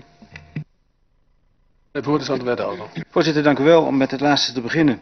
Ik kan niet in de toekomst kijken, dat is heel lastig. Ik heb geen glazen bol. Maar zoals de vlag er nu bij hangt, zijn dit de laatste mogelijkheden voor uh, Witharen. Ten aanzien van de aanbevelingen van de GGD, het woord zegt het al, het zijn aanbevelingen. Het is geen wet en regelgeving. En de GGD zegt ook zelf al, wij bevelen aan, maar mits u in overleg treedt met aspirant-kopers en een uh, gezond woon, leven en werkklimaat gegarandeerd kan worden, zoals ook Arcadis in haar rapport beschrijft, en de bewoners stemmen daarmee in, dan moet u dat maar doen. Ten aanzien van uh, de geurodeur van 3 naar 4, uh, het omgekeerd is waar, juist door de geurodeur op 4 te stellen, daarmee borg je de rechten van het bedrijf aan de Oldervenneweg 3. Dan vraagt u of wij in gesprek zijn met uh, de agrariër. Ik zou niet weten en waarom, want juist hiermee respecteren we zijn rechten.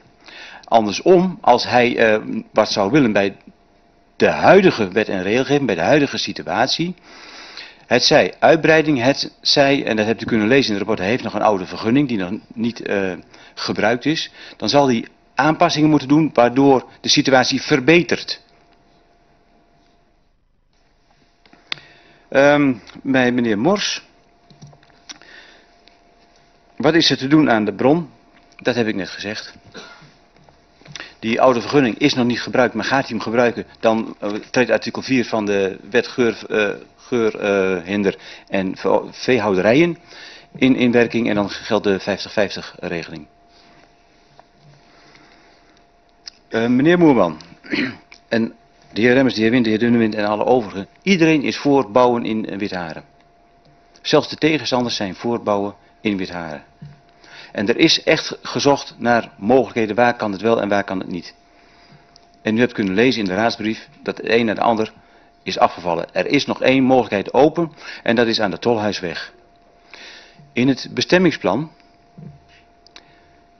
Witharen 2003, is al ingetekend in de kaart waar de uitbreiding plaats zal vinden. In het bestemmingsplan 2013 is al ingetekend waar de bestemming, de uitbreiding, plaats zal vinden. In het Gopgof, wat u hebt vastgesteld, heeft u aangegeven hoe een afronding van een kern als moet gebeuren. Compact en aansluitend. Dat is dus niet met de variant West, laat ik hem zo dan maar even noemen, primend richting Oldevenneweg 3. Dat is evenwijdig aan de Tolhuisweg, haaks op de Balkerweg. Dat mensen daarmee het vrije uitzicht dat ze een aantal jaren hebben gehad, verliezen, dat is evident. Echter, vaste jurisprudentie geeft aan dat niemand in Nederland een eeuwigdurend recht heeft op een vrij uitzicht. Er zijn uh, plannen gesmeed en het is niet zo, meneer Wind, dat de gemeente de regie uit handen heeft gegeven. De gemeente is nadrukkelijk in overleg getreden met het plaatselijk belang. Die hebben gezegd, wij willen die gesprekken wel uh, gaan voeren. Wij kennen onze mensen en wij weten uh, wat er leeft. Ik heb met verbazing gelezen in de krant hoe dat geëscaleerd is. Ik heb ook onmiddellijk mijn ambtenaar gevraagd om een gesprek aan te gaan. Ook mede naar aanleiding van vragen uit uw raad. Ik heb tot mijn spijt moeten constateren dat er geen ruimte was, zelfs voor een variant die men nog niet kende. En dat is de variant die nu voorligt. Dat is niet de voorkeursvariant die in 2003 en 2013 voorlag, maar een variant erop, namelijk iets meer ruimte creëren, iets meer zichtlijnen, iets meer lucht. En de aspirant kopers hebben gezegd, dat sluit aan bij onze wensen. En wij geven daarmee ook de anderen wat lucht. Ik vind het nog steeds jammer dat ik er niet in ben geslaagd om de bewoners van de Tolhuisweg, de huidige bewoners, te overtuigen van dit plan. Dat zij zo. En ze hebben ook tegen mij eerlijk aangegeven, dan gaan wij tot aan de Raad van State. Het is niet aan mij om hierin een keus te maken, wel om een voorstel te doen. En het voorstel dat nu voor ligt, sluit het best aan bij de besluiten die u in het verleden hebt genomen. In 2003, 2013 en bij het Gopgof. Een compromis. Waarvan heel veel insprekers hebben gezegd, neem alsjeblieft een besluit en dit is, gezien het verleden, gezien de omstandigheden, het beste besluit. Zo snel mogelijk bouwen, dat wil ik ook. En met welke variant het dan ook wordt, meneer de Jonge, ik denk dat we altijd bezwaren krijgen. En de variant West past niet binnen de uitgangspunten van deze gemeente. U hebt een aantal keren geroepen van, en als we dat snel kunnen regelen in deze raad, op het moment dat variant West aan de orde komt, zullen wij terug moeten naar Arcades om uit te laten rekenen welke gevolgen dat eigenlijk heeft, welke consequenties dat heeft. En die konden nog wel eens meer tegenvallen dan het verhogen van drie odeur naar vier. Ten aanzien van hoe dat zit ten, met uh, Tolhuis, het Rijksmonument, Daarop kan ik geen vraag geven. Misschien dat een van uh, de ambtenaren dat weet. Anders laat ik u die beantwoording schriftelijk toekomen. Dat wordt een schriftelijk antwoord ten aanzien van hoe om te gaan met de zichtlijnen en de ruimte om het uh, tolhuis, het Rijksmonument. Want dat, dat was, was, uw vraag. Hoe snel kan er een alternatief komen? Wat het college betreft komt er geen alternatief. Dit is het compromis. Wat volgens ons het beste alternatief is. Gegeven de huidige situatie. En ik hoop dat ik daarmee de meeste vragen. De voorzitter wijst mij erop dat ik er één woning zou, zou moeten uitlaten. Nee, één en twee. Gevraagd heb, voorzitter, uh, als het zo even mag, van wat de, als het gaat over de, de vrije zicht van, de, van Tolhuis, om, de, om zeg maar, de cultuur-historische waarde. En dan heb je ook nog een stukje agrarische waarde erin zitten, uh, in mijn uh, inzicht. Om, wat het betekent als je kavel 1 en 2 mm -hmm. uh, wat zou verplaatsen. Bijvo bijvoorbeeld, hè, de, even een denkwijze naar, naast de 8 en 7. Hè, dus op die manier, op die manier die zicht, de zichtlijnen te borgen. Ik begrijp nu wat u bedoelt. Maar dan krijgt u een variant op West, namelijk iets compactere West. En die sluit dus niet aan bij het uh, plan, bij bestemmingsplan 2003, 2013 en bij het Gopgof. Uh, volgens mij is dat plan eerder in beeld geweest, maar toen met, met min, minder woningen. Waren het allemaal uh, tweezijdig twee onderin kappers. Als ik mij goed herinner. daarvan hebben we destijds ook al gezegd, ook dat heeft niet de voorkeur. Dit is een compromis en hier staat het eh, college achter. En ten aanzien van uh, de zichtruimte om het Rijksmonument heen, de vrije ruimte, daar krijgt u een schriftelijk antwoord op. Wie wilde nog in tweede termijn? De heer De Jonge. Ja, voorzitter, min of meer een stemverklaring, want wij zitten toch wel met een dilemma. Maar we willen ook geen enkele wijze een, eh, een belemmering uh, opwerpen om de woningbouw te uh, realiseren in Witharen. Dus, de, dus onze keuze is om het toch de visie te leggen en af te wachten voor welke zienswijze erin gedient. Het betreurt ons wel, want wij zijn bang dat er heel veel bezwaren en ook raad van state procedures komen. Maar ja, dat is dan misschien maar inherent zo. Dus wij zullen toch voor de, de visielegging zijn, ondanks het wel tegen ons bos stuit.